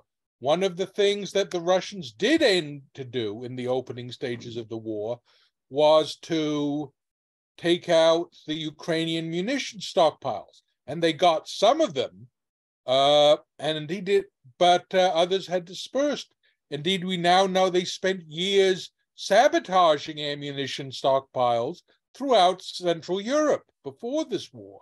So th- this is something else that's given us a greater sense. But yeah, war games have no tomorrow. You have, you know, they have every in in the real world. You need to keep your force intact for the next battle or the next war. In a war game, once you put the game back in the box, that's it. Sorry, Professor and you don't have to care about the institutions. Sorry, Professor Isby, can you can you move your PowerPoint presentation to one of the maps, one of the visuals of Taiwan? Um, just because it, it, would be, uh, uh, yeah, this one here. This is perfect. Uh, I, I, have played this with my students um, about five or six times, and half the time they do uh, do the amazing thing of not sending up any Taiwanese aircraft. But uh, you know, it's uh, it, it's it's a it's a you know a, a big debate uh, even for people who operate on airfields. I, I, was an army engineer, and we did a a I guess a two week thing where uh, as an army engineer we were playing Air Force engineers, and we were uh, looking at arrestor gear you can stick on a highway and sort of magic cement that you could pour into holes, like you know the Seabees in in the Pacific in the Second World War. But uh, frankly, I uh, none of us had access to to data as to you know what we were expected to do and how fast. I mean, it was there was so many unknowns. And I, I, I mean, I'm, I'm looking now at the, the Canadian and uh, the U.S. Uh, Air Forces deploying in the Arctic, or, or dispersing on Pacific Islands uh, in anticipation of, of a larger conflict, and just seeing how it goes. Um, and and uh, apparently they're able to redeploy with just a skeleton amount of uh, maintainers, which I think would you know work for a short a short term um, a short term conflict. Uh, so, uh, uh, uh, Professor Kamps, you had a question also. Oh, I, I can address this. Um, certainly, the Chinese want to crater all the runways on what would be the first turn of a war. Um, if you expand all of this greater and, and add United States to it, uh, one of the things I did for our um, planning exercise at uh, at uh, ACSC was was uh, look up a lot of the uh, a lot of the air facilities will be available throughout the Pacific for U.S. Uh, forces to use, and the Chinese better have a lot of missiles, and they better all be able to take out what they think they can because there are a lot of places that we could use. And I didn't even approach the ones that had like less than uh, less than a certain uh, number of feet of of, um, of, of runway space. So. Yeah, uh, thank you, Professor Kamps. Sorry, did you have a question from earlier? Uh, before oh, oh um, air warfare? No, I just I had had a comment about the uh, the, the Ukraine and, and the Russians. Um, please, please. Um, the late John Tiller, whose um, whose uh, uh, design house uh, was was uh, commissioned by the government to um, to do a study of Russia versus uh, the Ukraine back in the 1819 timeframe, um, uh, make up a war game there. He subcontracted me to do research on both sides using uh, the same thing that uh, Dave and I did when we did our NATO book, what the Soviets used to call the foreign military press, which um, it, it, was amazing. I, I, looked at it and I looked at the Ukraine uh, uh armed forces. I said, these are not pushovers. Anybody who thinks that these guys are going to roll over, you know, when the bully kicks sand in their face, it's got another thing coming. And um, when you looked at their order of battle, their equipment, their training. Uh, it was um, it, it, impressed me, and I, I, I don't know how they how they carried it forth in the war game, but um, but I was certainly impressed with it. So when was that? This was the uh, 2018-19 time frame. I had just retired, and uh, and Tiller offered me a very handsome sum of money to do the research. no, it's fun to get paid to work in. Oh yes. so, uh, Professor Isby, I have uh, uh, you know focusing now on putting the lens on uh, the China-Taiwan conflict. I've you know I've got some uh, uh, several general questions. Given your scholarship and your writing on Soviet doctrine and equipment, and what we see in Ukraine today, how would you assess the you know the the the the, the big ticket items like the tanks, the artillery, the airplanes, the ships between Taiwan and China? I mean, how, how should we, how, how could we anticipate how the Chinese weapons are going to function? Well, you know, the uh, certainly you look at the nearest foreign counterparts. You know, obviously some of the Soviet style uh, material you've seen in combat in Ukraine, Syria, other places in the Middle East. Uh, otherwise, you use that as a uh, stand-in. The other thing being uh, seeing how it all works together. If the uh, you know, we know the Chinese have three aircraft carriers and six nuclear subs, but uh, the indications that they can that they can function the same way as their U.S. counterparts or our allies, uh, that's a lot less forthcoming. So, uh, I mean, I, I, of course, I, I don't want to um, uh, you know, uh, appear too aggressive. But if I could push you on it, Yeah. Um, do you think do you think the Chinese are Chinese? I mean, uh, the Chinese tanks in some ways have the automatic loader. Um, are are the Chinese vehicles? I mean, just just sort of guesstimate. Um, are they just uh, uh, Soviet tanks with a paint job, or do No, you the actually think- Chinese have had access to the world economy for that long, whereas the Soviets, so they have certainly gotten a lot of things that the Soviets, who had very specific national requirements, did not. So I so the Chinese may have new ideas in both technology and tactical approaches. Whether they have trained enough to make these tactical approaches uh, something they could do in combat? That is a very open question. I don't know the answer to that. Do you think we can generalize from their performance uh, in the Korean War? Or is that, is that like too long ago? We're going back to the thing continu yeah, continuity and change. And you know, like I said, the the great problem here is that sometimes something as old as the Iliad is germane, you know, thousands upon thousands of years, whereas, you know, old Putin found out that 2014 was no longer germane. So, uh, yeah, so I would, you know, look at what are the constraints? What were the constraints in the Korean War? It was a hastily improvised Chinese army. In fact, many of the personnel that were encountered uh, by the U.S. were former uh, KMT Chinese nationalist troops who had been taken prisoner and allowed to redeem themselves by fighting the Americans. Uh, so it's the it's the difference. Similarly, looking at the war in uh, with Vietnam in the late seventies is looked upon perhaps as the last gasp of the Maoist People's War approach. you have to look at what the Chinese are expecting their forces to do now. Uh, they really haven't had any experience of joint warfare, and they're expected to undertake one of the most difficult things uh, in the military lexicon, which is amphibious operations. Uh, and, and that's that's a tall order for an army that really doesn't have any recent combat experience.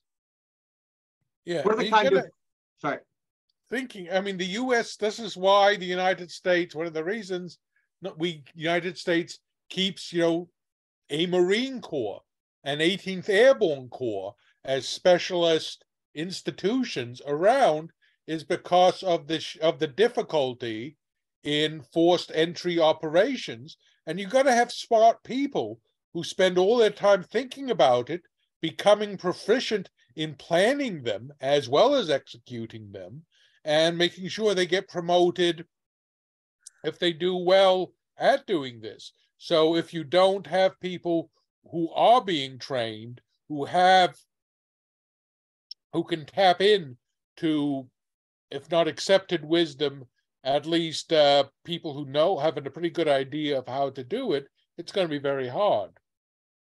So if, if you have to take a position on the uh, big debate going on at uh, War on the Rocks between this is an easy uh, invasion for China versus this is a hard invasion uh, for China, assuming it's an amphibious operation.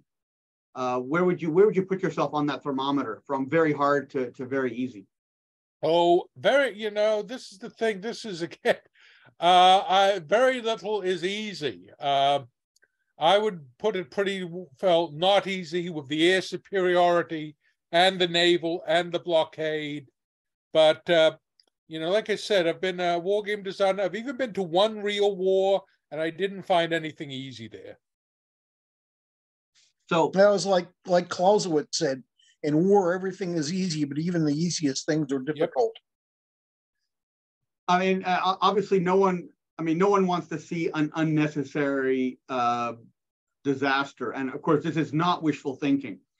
But if the if if China were to attempt an amphibious landing and it were to go wrong, what are the three biggest things that are that that we're going to see go wrong with the amphibious landing?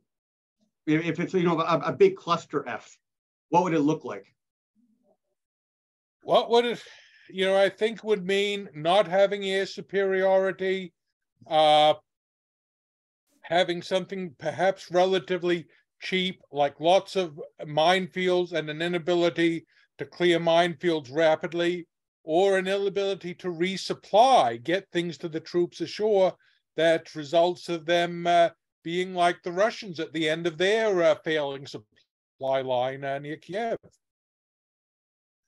Yeah, I think I think the Russians, or rather the Soviets, did do an amphibious landing uh, on the isthmus that connected to Crimea during the Second World War. Yeah, they did that. Uh, they did uh, one near Kirkenes in Norway. Uh, they did, of course, in the uh, Pacific in the last weeks of the war. They did a number, including uh, some on the China and Korean coasts with lend lease equipment. So they have in a degree, and they you know, and even though they didn't have the specialized equipment of the Americans or NATO during the uh, Cold War, it's certainly an issue they looked at. They had lots of amphibious shipping during the Cold War. So you you identify. Sorry, go on, Professor Kamps.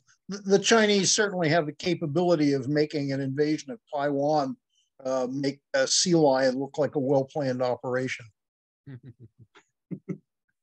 um, I agree. They say the most difficult thing to do is an opposed invasion um, by sea. So I would, uh, even with airborne forces and everything else, this if it was that easy to do, they'd have done it already. Well, and China did, uh, uh, uh, of course. There, there's different elements of difficulty, but at the at the end of their uh, revolution, they they did take over Hainan, quite quickly. Mind you, it wasn't opposed. Um, How many aircraft carriers are backing Hainan? Yeah, but I, I, I, I, guess the criteria was they could get the soldiers to the port, they could collect the boats, they could put the soldiers in the boats, they could wait for good weather and then get them across. So, you know, obviously a very low bar. Yeah, well, we saw recently too. I mean, obviously there's been press reports about the Chinese practicing with their civilian ferries. They re, they're going to rely on those in wartime to get their forces to Taiwan. And uh, I wish them luck with that. Yeah, no, that, yeah, there's a big debate as to as to to what extent those ferries, you know, uh, you know. Yeah, at, at Dunkirk, the British were landing on friendly beaches with their with their small craft, not not people shooting at them. Yeah, and if you, you I mean, have weather look... considerations, which are going to limit their their time phasing to be able to accomplish something like this. Yeah, I, I mean, uh, obviously in, in, high intensity combat, uh, probably up to 50% of the payload of any vessel that's crossing will be uh, supplies uh, and not troops. And that has to that has to be sustained if the artillery is going to be able to do what it's supposed to do. Um, so a large a large uh, factor in Ukraine's success, obviously, is uh, the will to fight. Um, probably a change in political culture among the Ukrainian people to some extent. so Professor Isby, um, if you could send um, Professor Miranda, specialist in uh, psychological warfare, to collect data, what do we want to, what would we want to know about the Taiwanese uh, people and to see whether they're uh, more committed, less committed, as committed as the Ukrainians to their own independence? That's uh, again, it's a uh, that's a difficult question, and uh, if you could look at uh, perhaps you know talk to regional experts the other would be looking at something which if you understand if you followed it for a while looking at anecdotes. But uh, it's very easy to be misled you know by uh, you know whether it's uh, in one way or the other. You know anecdotes is well said is the uh, you know you put the anecdotes together they don't necessarily lead you to data uh, uh, Professor uh, uh, Chadwick, Frank Chadwick, uh, mentioned that uh, he believed there was a clear correlation between motivation and level of education, basically. Um, do you believe that? well, not perhaps not necessarily. Certainly, a very poorly educated Russian population was motivated in the Second World War to fight very hard And uh, but again, you know, but normally these days, especially, you know, rules have changed, and you know, what do uh, you know, an educated population generally does better. You know, in the Second World War, middle class American soldiers uh, in the Pacific dealt better with the rigors of uh, jungle fighting than uh, people who came from poor backgrounds in the Depression. So education is a good thing, but uh, you know, I would I'd be hesitant to uh, make a direct correlation. So I mean, again, sort of feeding back to the to the Taiwanese, what I mean, it's it's an awful question to ask, but if you had to rate the average Chinese soldier that would land in Taiwan and the average Taiwanese soldier, who would you give the edge, and by how much? Well, I might give the edge to the Taiwanese. You know, it's their homeland, and especially it could easily change if uh, you know an atrocity, a charismatic leader, things which made a difference in the in the Ukraine. It would be even better if you could have a system of saying, "All right, let's try it better," in which you can play the game several times with the with the different you know morale levels uh, one through four zero through nine. If you could say all right we can make this that we can see how much of the it does it take a difference? Does it only make a difference if the chinese are a one and the taiwanese are an eight or does even a step of difference make it you know change so it would be great if you could make a design where that's the parameter perhaps something where you know, which compresses less detail. So you that you know, in that case, you can see what the differences could be. Now, uh, none of none of the games you've designed have had sort of a, a, a, a, like a Kremlin Kremlinology kind of scenario where you've got factions playing it out in in Moscow. But you have written a lot on the Soviet Union, and certainly you're familiar with the Politburo and how they've decided things. China's got a very similar structure with uh, a, a, political structure with a very different social structure. Um, what would you want to know? Uh, you know, g- given you know, obviously, if you've designed war games, you must have thought about you know who's starting this war, how are they starting it, yeah. why are they starting it? What would you want to know to uh, construct a decision-making uh, game uh, of what's going on in Beijing, and and when these people are going to say go or don't go? Well, like I said, this is something how you could do it. This is why I suggested the old SPI plot to assassinate Hitler as the game, or you could even flip it around and do it like a aftershock with five. You know, what are the factions within? Oh, not just factions. You know, military, or the Central Committee. You know, again, a, play it as a cooperative game. Your game is not so much invading Taiwan, but here are five players, each of which were different players in Chinese internal politics, such as they are. However, they're divided up. And that's something I, you know, how I could do it if you wanted to do it that way. And of course, you'd have to have a someone who has a very good feel for Chinese politics to avoid it just being a mirror image of someone else's.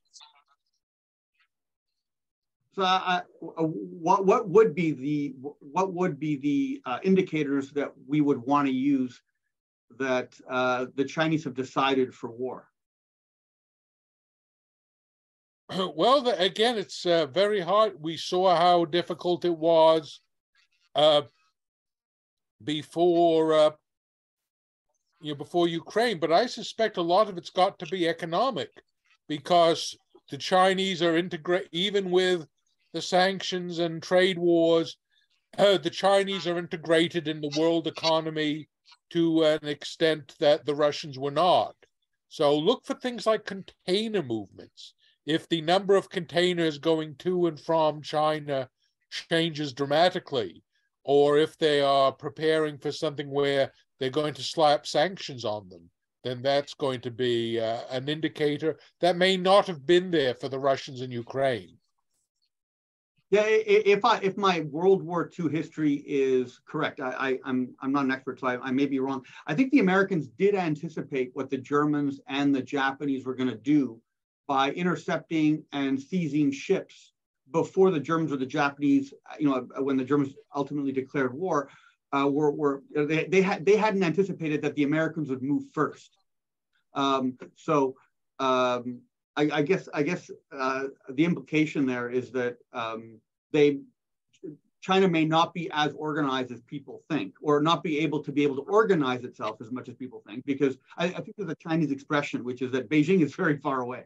It's on the other side yeah. of a mountain, right? And so if you're if you're operating containers as a Chinese business person in Singapore, you're going to go, you know what? Thank you for the memorandum. Uh, you know, you're far away, so I'll deal with it next month. Yeah, as you said, even simple things are hard in war as you prepare. So, you know, it's uh, it's easy to overestimate how nothing is saying, "Oh, we could simply do that."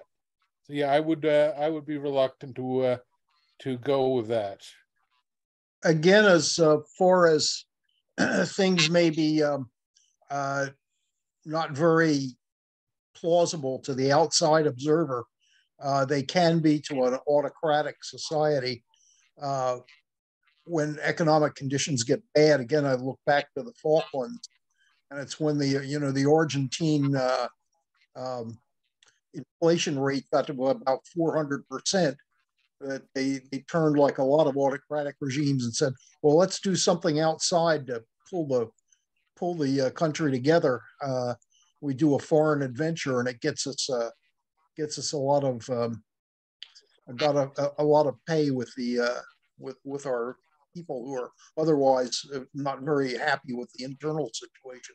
So taking Taiwan could be, uh, you know, they manufacture an incident and say, you know, we've got to uh, reunite them with the uh, with the mother country, even if it even if it's a silly thing to do.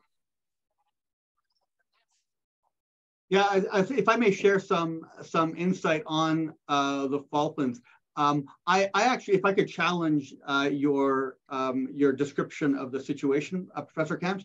So, and, and, this is just, you know, uh, uh, there's there's a, a, debate going both ways. But one one of the uh, one of the findings was that Galtieri actually had no interest in the Falkland Islands. He's Army, of course. Um, he was focused uh, on Chile and and the Beagle Channel dispute, and the um, it, it, it produced the exact same effect that you're describing but it was it was sort of complicated and attenuated. Uh, for Galtieri to stay in power, he needed the support of Anaya, who ran the Navy. The Navy had its own Air Force, their own carrier, and their own Marines, so their own little mini army.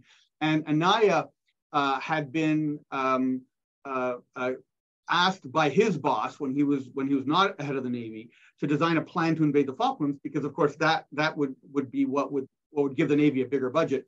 So when Galtieri was in power and the inflation hit, his popularity decreased.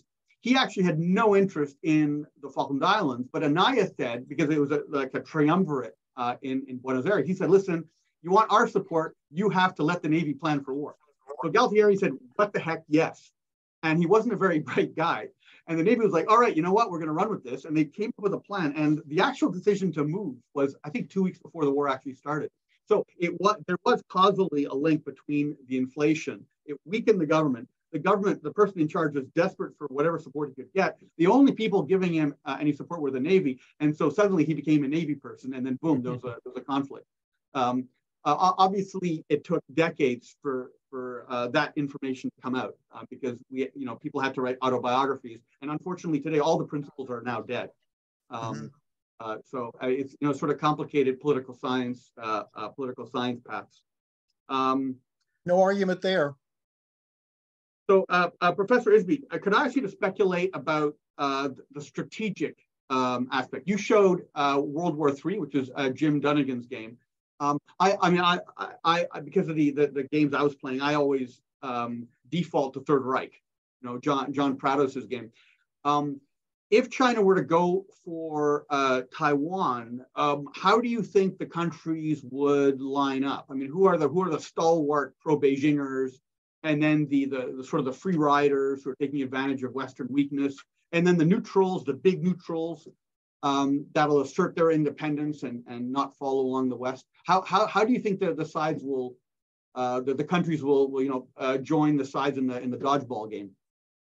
Yeah, I mean, certainly that's you know something you would like.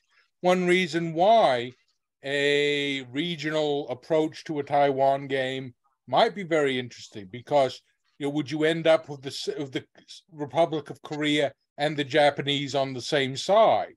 That would certainly uh, present issues for both of them, uh, even though neither one of them wants to see a resurgent China in taking you know by armed force. So that would be a crucial thing. Similarly, the Philippines, uh, Guam, what would happen to, you know, would they participate or allow, ba- you know, it's certainly basing rates. What happens if there is an attack on Guam? What the Americans, you know, when the missiles hit American soil? So that's another issue, you know, I would think the American player needs to think about. You know, what is going to be that response? Similarly, the Japanese would have to uh, think about what their response would be if missiles come down on Okinawa or even uh, smaller islands like Sakishima. So in a bombardment scenario, obviously there's time, but if China were to bombard Taiwan or uh, uh, begin what looks like an invasion, would the US intervene kinetically in the first 12 hours or not? Is it, it is the US intervention automatic? I certainly, certainly, it has not been. You know, we used to uh, years of them not answering the question, deciding that you know by keeping it indistinct, uh, not having a declaratory policy, it maximizes deterrent. So I'd say probably not. But uh, you know, what happens when deterrence fails? Even in uh, even conventional deterrence. So we see uh, uh, Russia firing a lot of rockets and drones at Ukraine. Uh, and so, you know, two questions. Um, what effect is it having there? And so what, what effect should we expect it to have on Taiwan? And two, I, I, again, I, I, I don't want to give the impression I'm expecting a certain answer, but why can't Vladimir Putin see that it's not working? Well, it depends. What is what is working for him? I mean, who does it? If you have to turn out all the lights in Kiev, or does he have to show the people that we are striking back at the time, you know, when, when our forces are being pushed back? Who is his audience? Like I said, is it for the military effects? Is he really playing? Is he playing? What game is he playing? Is he also because he's maybe something that looks like the old SPI plot to assassinate Hitler? Where certainly there are, you know, the oligarchs and Siloviki or the military all have interests that a mere cost benefit analysis beyond that of, yeah, we're using a lot of rockets for blowing up power plants. So do you think uh, we're looking at a similar model for a Chinese bombardment of Taiwan, which is it's essentially a bunch of communist high level people in Beijing impressing each other? That well that could be that is certainly what do you respond to it? If it is missiles and you don't send airplanes. And of course on the other hand there's a lot of things in taiwan which unlike ukraine you really want to rip off the economy. Whereas in ukraine the, they were once they'd stolen the uh, this year's harvest uh, they were more than willing just to see things leveled but the chart, you know, you don't want if you've got the world's best uh, computer chips being made at Taiwan and you are using them yourselves, uh, you obviously don't want to fi- flatten that factory or even turn its electric power off. Yeah, I mean, I, I, think at the moment there is obviously a heavy investment from the U.S. government to move the um, the chip design is going to Arizona. I think. I mean, uh, uh Silicon Valley is already 50% Taiwanese. Uh, the chips are being manufactured now in China still, uh, but the design is is uh, in Taoyuan, which is that sort of sister city, the, the Taiwanese uh, Silicon uh, Valley. So if Putin is firing rockets uh, to to you know give some satisfaction to the Russian people and the Russian military, at what point does would you estimate that the Russian military is going to turn around and go? Um, Mr. Putin, you failed us. I mean, at what point is the institution going to have an identity and then demand from the political leadership competence? Well, that's it's hard to say. I think it's going to take a take an awful lot. It's very hard to see point out not only in autocracies when when the army has had enough and when it's going to force changes and the extent for the Russian military where political control has been bred in something they inherited from the Soviet Union, uh, it's going to be hard for the armed military to say this. Um, so I think they will stay. You know, the, I think the military would largely stay with Putin uh, through this, and especially if he can show them, all right, here's a way out, even if it is look like something like now it's time to go for a war of attrition and let's declare a unilateral ceasefire. So I, um, I, I, because I, I, I, don't to. Uh, it's not realistic, obviously, because we don't have a, a deep insight. But um, if you could put a number on it in terms of months, uh, are, are we looking at 12 months, 24 months, never possibly? Uh, well, possibly. I mean, what will, I would say you would. I'm saying you're looking at a in part because of the stockpile failure, you are looking at the transition to something like you saw Arab Israeli in the years between 67 and 73. Uh, first to a war of attrition, then a cold peace, and at some point, uh, it's uh, Moscow's revenge. So that's just mine. But like I said, uh, it's an incomplete analysis, but that's what I'm looking at as the model. So th- this war could go on for a very long time. I would bet on a long time. David, I have, I have a question. Do you think that the Russians are going to try for a winter offensive once the ground freezes over? It would probably be a good idea if they could a limited one. Get you know whatever armored vehicles. You know they desperately need a victory. So uh, I think if they could select to some place where they can get a limited objective and at least show them that you know we can push back the Ukrainians in some place. And you know there is going to be a lot of political demand. We want a victory now. So even right. if it's a small one. All right, thank you. So if if if I, if I could um, uh, well, I, I, find that very interesting because I have, I have a, a, colleague who's working on looking at uh, Russian chemical weapons and the idea that those would be useful in the spring because you can't use them as effectively in the winter. But definitely, um, I mean, there's opportunities for the Russians to move. Um, uh, so, uh, uh Professor Isby, um, uh, uh, the, the nine Julian, Oh, sorry. I don't know if you saw in the chat. I have to drop off, so I wanted to ask the one question I've been hanging on to for a while now this is it's on modern warfare, but it's modern warfare of the 1980s. Um, do you mind if I share my screen here real quick? Please, yeah, uh, you're clear. Okay, so um, I, I, don't know if if Charles or David have looked recently on Amazon and see how much that their armies of the NATO Central Front goes for today. Um, it's three hundred dollars, and there's used other used ones for two hundred and fifty. I actually had a colleague ask me, a gaming colleague ask me to ask you this. I told him I was going to be on the call tonight. Have you guys ever thought about redoing this book? Because everything from the 1980s is hot right now in commercial wargaming. They've reprinted Third World War. Compass Games has done that. NATO from Victory Games has been reprinted. There's a lot of of 80s era Soviet US because a lot of the boomers and Gen Xers who would have been in the military then just want to know what would have happened. Have you ever thought about going back and maybe updating this book or other things that you wrote in that time frame now that we've had a lot of declassified information, more information available with the end of the Cold War? I mean, for 300 bucks, I'd be tempted. I don't know how many would sell, but I know um, uh, my friend, he paid $360 for a copy of this book. Uh, stop laughing, David. Uh, I know the next war, Dunnigan's game, is going right now on Board Game Geek. There's a new copy going for $260. So everything old is new again. I just was curious if there's, I, I mean, I know the, the whole um, uh, Fulda Gap, Fulda Gap is hard to get. That's expensive.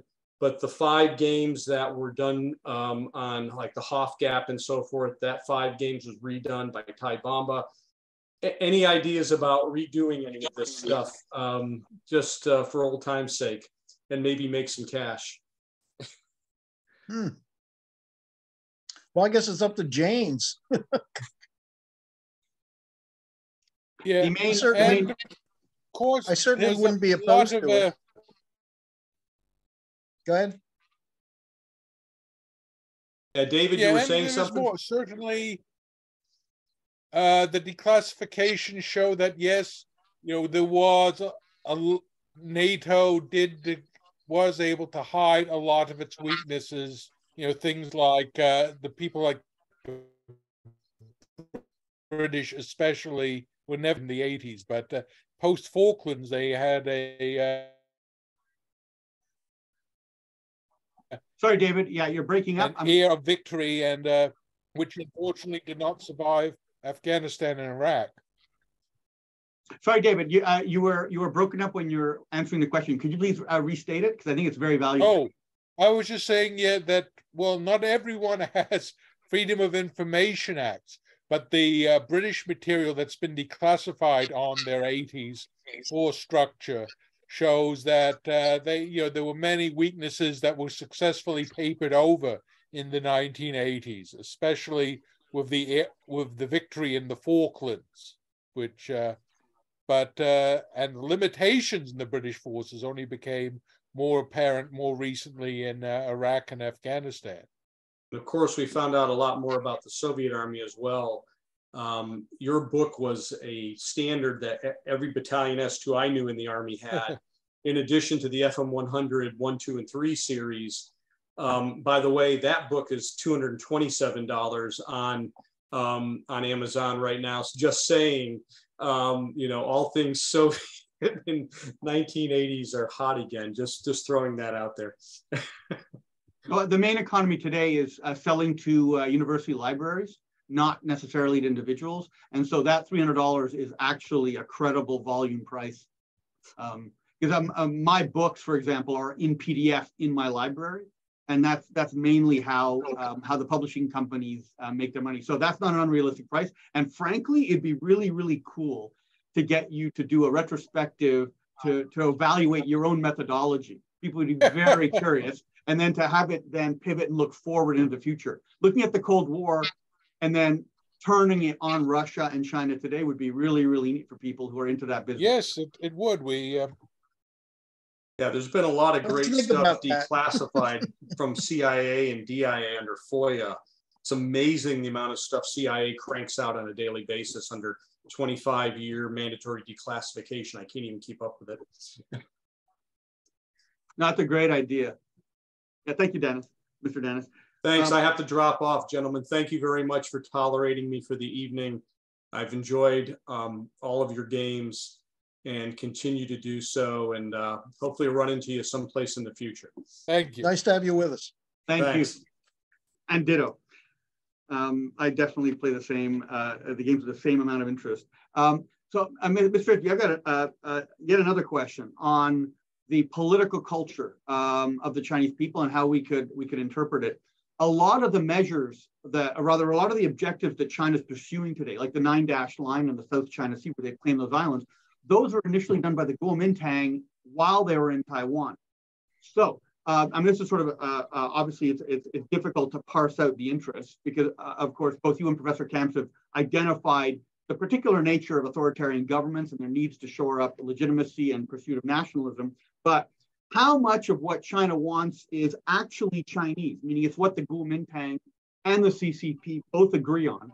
How much of it is just, you know, the CCP, you know, uh, uh, for their own institutional interests? Obviously, they want to end their their civil war with Taiwan, and how much of it is uh, Chinese authoritarian dysfunction? I mean, we can imagine a democratic China where the Communist Party becomes some sort of social welfare organization. Uh, I mean, I know in Russia today, the Communist Party continues to criticize Putin because, you know, like Adolf Hitler, he's very close to the uh, oligarchs and not really taking care of the workers anymore.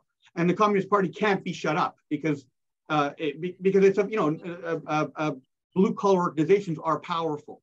So if we were to parse apart Chinese uh, nationalism, how would you do it? An interesting question. Uh, I mean, do we have to give, if China were to become democratic tomorrow and we wanted them to be democratic and we're negotiating with a democratic faction, do we have to give them the South China Sea?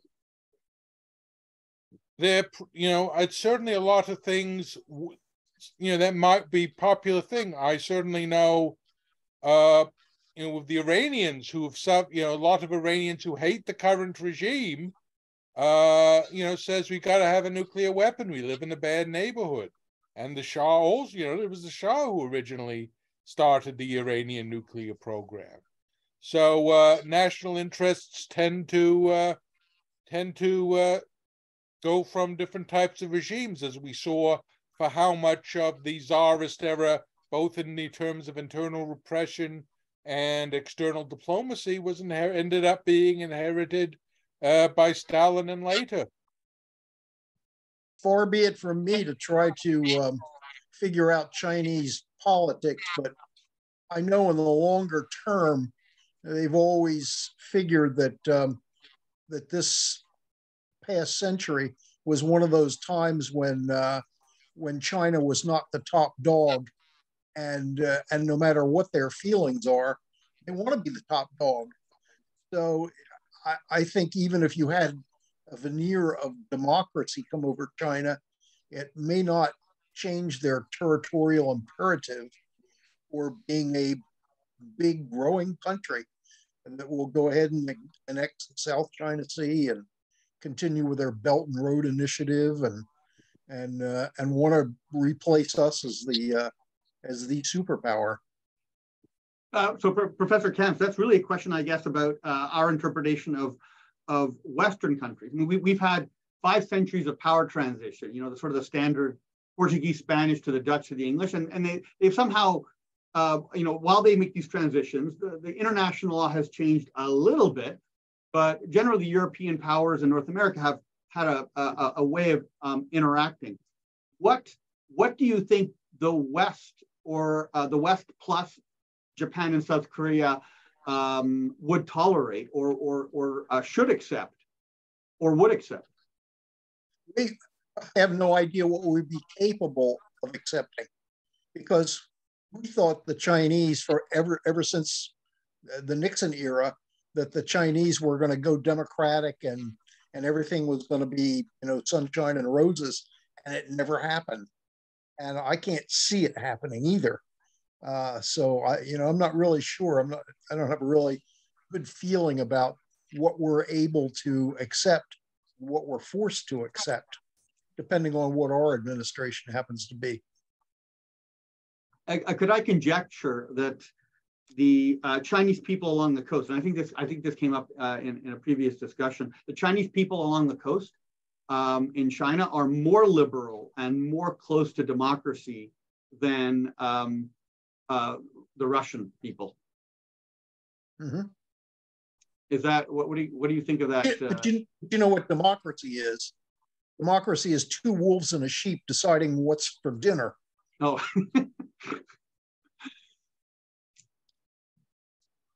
um, uh, yeah, no, possibly. So, um, uh, so uh, uh, uh Professor Isby, um, uh, if for uh, sorry, if, if I, if take the long view um, on China, um, uh, I, basically I'm looking for an inflection point where eyes will no longer focus on Beijing and will drift away. Um, I'm, I'm, you know, I, I, I curious. With India, you have a country that's got twice the arable land, almost uh, going to surpass China in population, 1.45 uh, billion um, um, much younger population, which means uh, a population that's going to be able to work in the factories, um, uh, a, a, water source that comes with the monsoons and doesn't depend on uh, the climatological changes happening in the with the glaciers in the Himalayas, um, and a very confident, if uh, poorly understood, um, revolution in, in political culture as literacy is going from I mean, right now it's about 75%, 50% for women and about 90% for men in India. and that literacy is bringing with it a fairly aggressive, assertive Hinduism. And I'm wondering, I mean, it's the old rule: we don't want to pick a fight to the death with our future ally. I mean, it gets. I mean, we've, we've been playing this balance of power game, uh, you know, for centuries now. You know, where where you know we we've uh, millions of people have died fighting for a regime, and then you know we defeat them, and then everyone's got to reorient painfully. Um, uh, uh, what what do you think about the the idea that we have to uh, canal China, sort of uh, canal them uh, into a position of them being our best hope to deal with India in about fifty years? well, uh, that I mean, the Indians certainly uh, are not at the level of the Chinese, you know, even though they certainly, as much as they desperately would like to be on the UN one Security Council. Uh, but if you look at in these things like you know the number of container movements, the number of internal airlines miles flown, there's still, despite the rising population and the youth, uh, still much less externally focused, not as much a part of the you know of uh, globalization as the Chinese proven to be even before the mo- the rose the COVID and uh, similar impacts. So yeah, what is uh, China was originally you know famously characterized as the the sleeping dragon, but uh, India still has a lot of potential which it never seems to quite touch. Yeah, in 2000, uh, China's economy was still less than the UK, and uh, you know now it's it's uh, four fifths of the U.S. economy. So you know, in 20 years, uh, you can have enormous enormous economic change. Mind you, I think it, it's a similar problem with assessing the Soviet economy during the Cold War. I think, uh, frankly, most of China's transformation occurred uh, under the Communist Party between 1970 and 1990 in the form of education and infrastructure that is just not detectable economically. And all, all the government had to do is turn the key, allow innovators to innovate, and then boom. Um, but I mean, even today, India leads China in um, the number of engineers that do uh, uh, nuclear engineering. And even today, India's got more nuclear reactors than China. Um, China uh, had three breeder reactors, one of which uh, possibly malfunctioned. And you know, there, there's some thoughts that the Chinese uh, chose not to manufacture a lot of nuclear weapons because they're highly confident that no one could defeat them, even with nuclear weapons. And Mao would boast that all the time. But the alternate explanation is just China. Uh, China was just bad at nuclear engineering, and so it got it just couldn't build that many nuclear weapons. And even today, it's got uh, about the same number of nuclear weapons as France. I mean, mind you, they're thermonuclear weapons, and and China did. Uh, uh, uh China, I think it took four years for China to go from a bomb in 64 to a thermonuclear weapon. I think it was 68 or maybe 70, but you know certainly about half a decade. And by their fourth test, they already had it on a rocket, um, and it detonated at the end. So the China did figure some stuff out. Um, uh, sorry, would you like to? Would you like to? Sorry. One thing I can say without fear of contradiction: India is not going to be invading Taiwan. Now, the uh, the reason I bring that up is that in some of our planning exercises at ACSC, we actually had seminars that were trying to do all this diplomatic wrangling and various things like that. So, no, the reason for this exercise is combat. You're you're trying to plan something that's going to happen, which is kinetic. So forget the stuff. Somebody else is handling that. You have to handle the combat planning. So if we're looking at a war game with China versus Taiwan, maybe we ought to re- revert to China invading Taiwan or no, blockading I, it or something else. No, de- definitely, uh, definitely, you're right, uh, uh, Professor Kamps. There's enough, there's enough puzzles just to solve that conundrum, uh, which is, you know, huge unknowns. Uh, but in in defense of, of sort of an, a, a, brief India perspective, um, India wouldn't be going after Taiwan. they'd be going after the the the, the Persian Gulf, which is you know, two hours away by aircraft. I, I, know they have an Atlantique maritime surveillance aircraft every hour of every day at the Straits. So India's had a presence there for 20 years, and um, there are there are more than a million Indian workers uh, in the Persian Gulf. And um, you know, uh, if if I was in the Emirates, I would be concerned just looking at demographics 20 years from now, because it's you know, I, um, uh, in, in, in some respects, the US is spared the, the horror of China being next to the world's oil supply, where India is. And so that's going to be, you know, a, a separate kind of um, uh, issue. Um, so if, if I could, uh, sorry, Professor Isby, uh, um, uh, we're, we're at the end. So if I could ask you, you know, just sort of one final um, uh, uh, question um, on this issue. Uh, and I'm sort of trying to reflect on, you know, if I had one question on wargaming, um, um, yeah, what would it be? What do I need? Yeah, so it, it, in one minute, could you give us a, a if you had a you know a, a large piece of paper and um, a cardboard uh, to answer the question of uh, could China take Taiwan in an invasion or a bombardment?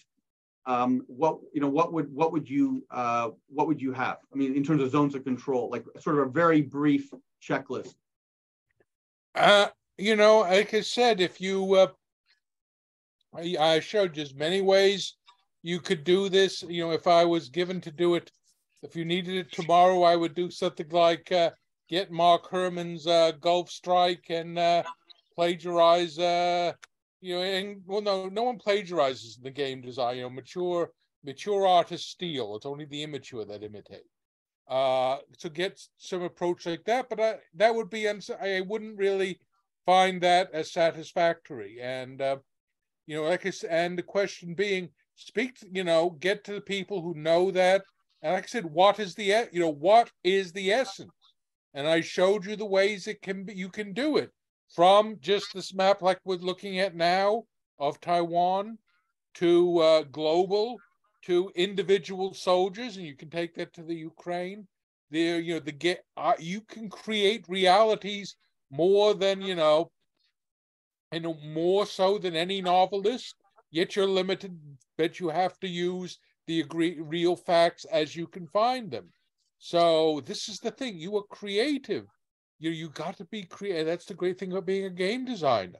So I might, uh, like I said, if I probably come out with a game in which, despite the Chinese things, an invasion of Taiwan isn't going to look really good and uh, it's nothing that and i think uh, it's something where you couldn't really have saying this is going to be a uh, vic- you know an anschluss 38 victory march no, thank you very much. Um, I, I, I, of course, would also include uh, Professor Miranda's uh, Taiwan game and Professor Kamps' uh, four kilometer to the hex invasion, and I would do it all, um, but it would take hundreds of hours to play the game.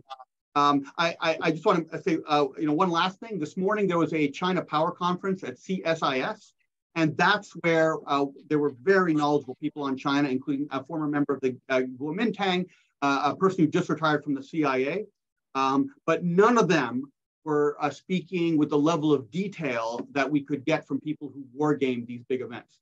And so, um, you know, just just to underline, it's fantastic having area specialists uh, but it would be even better if they could operationalize their ideas into something where we could test uh, doctrine and policies mm. and you know just uh, uh fundamental um, uh, approaches to deterrence.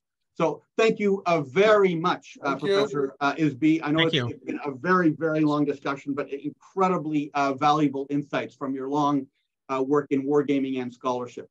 So thank you well, very thank much. You.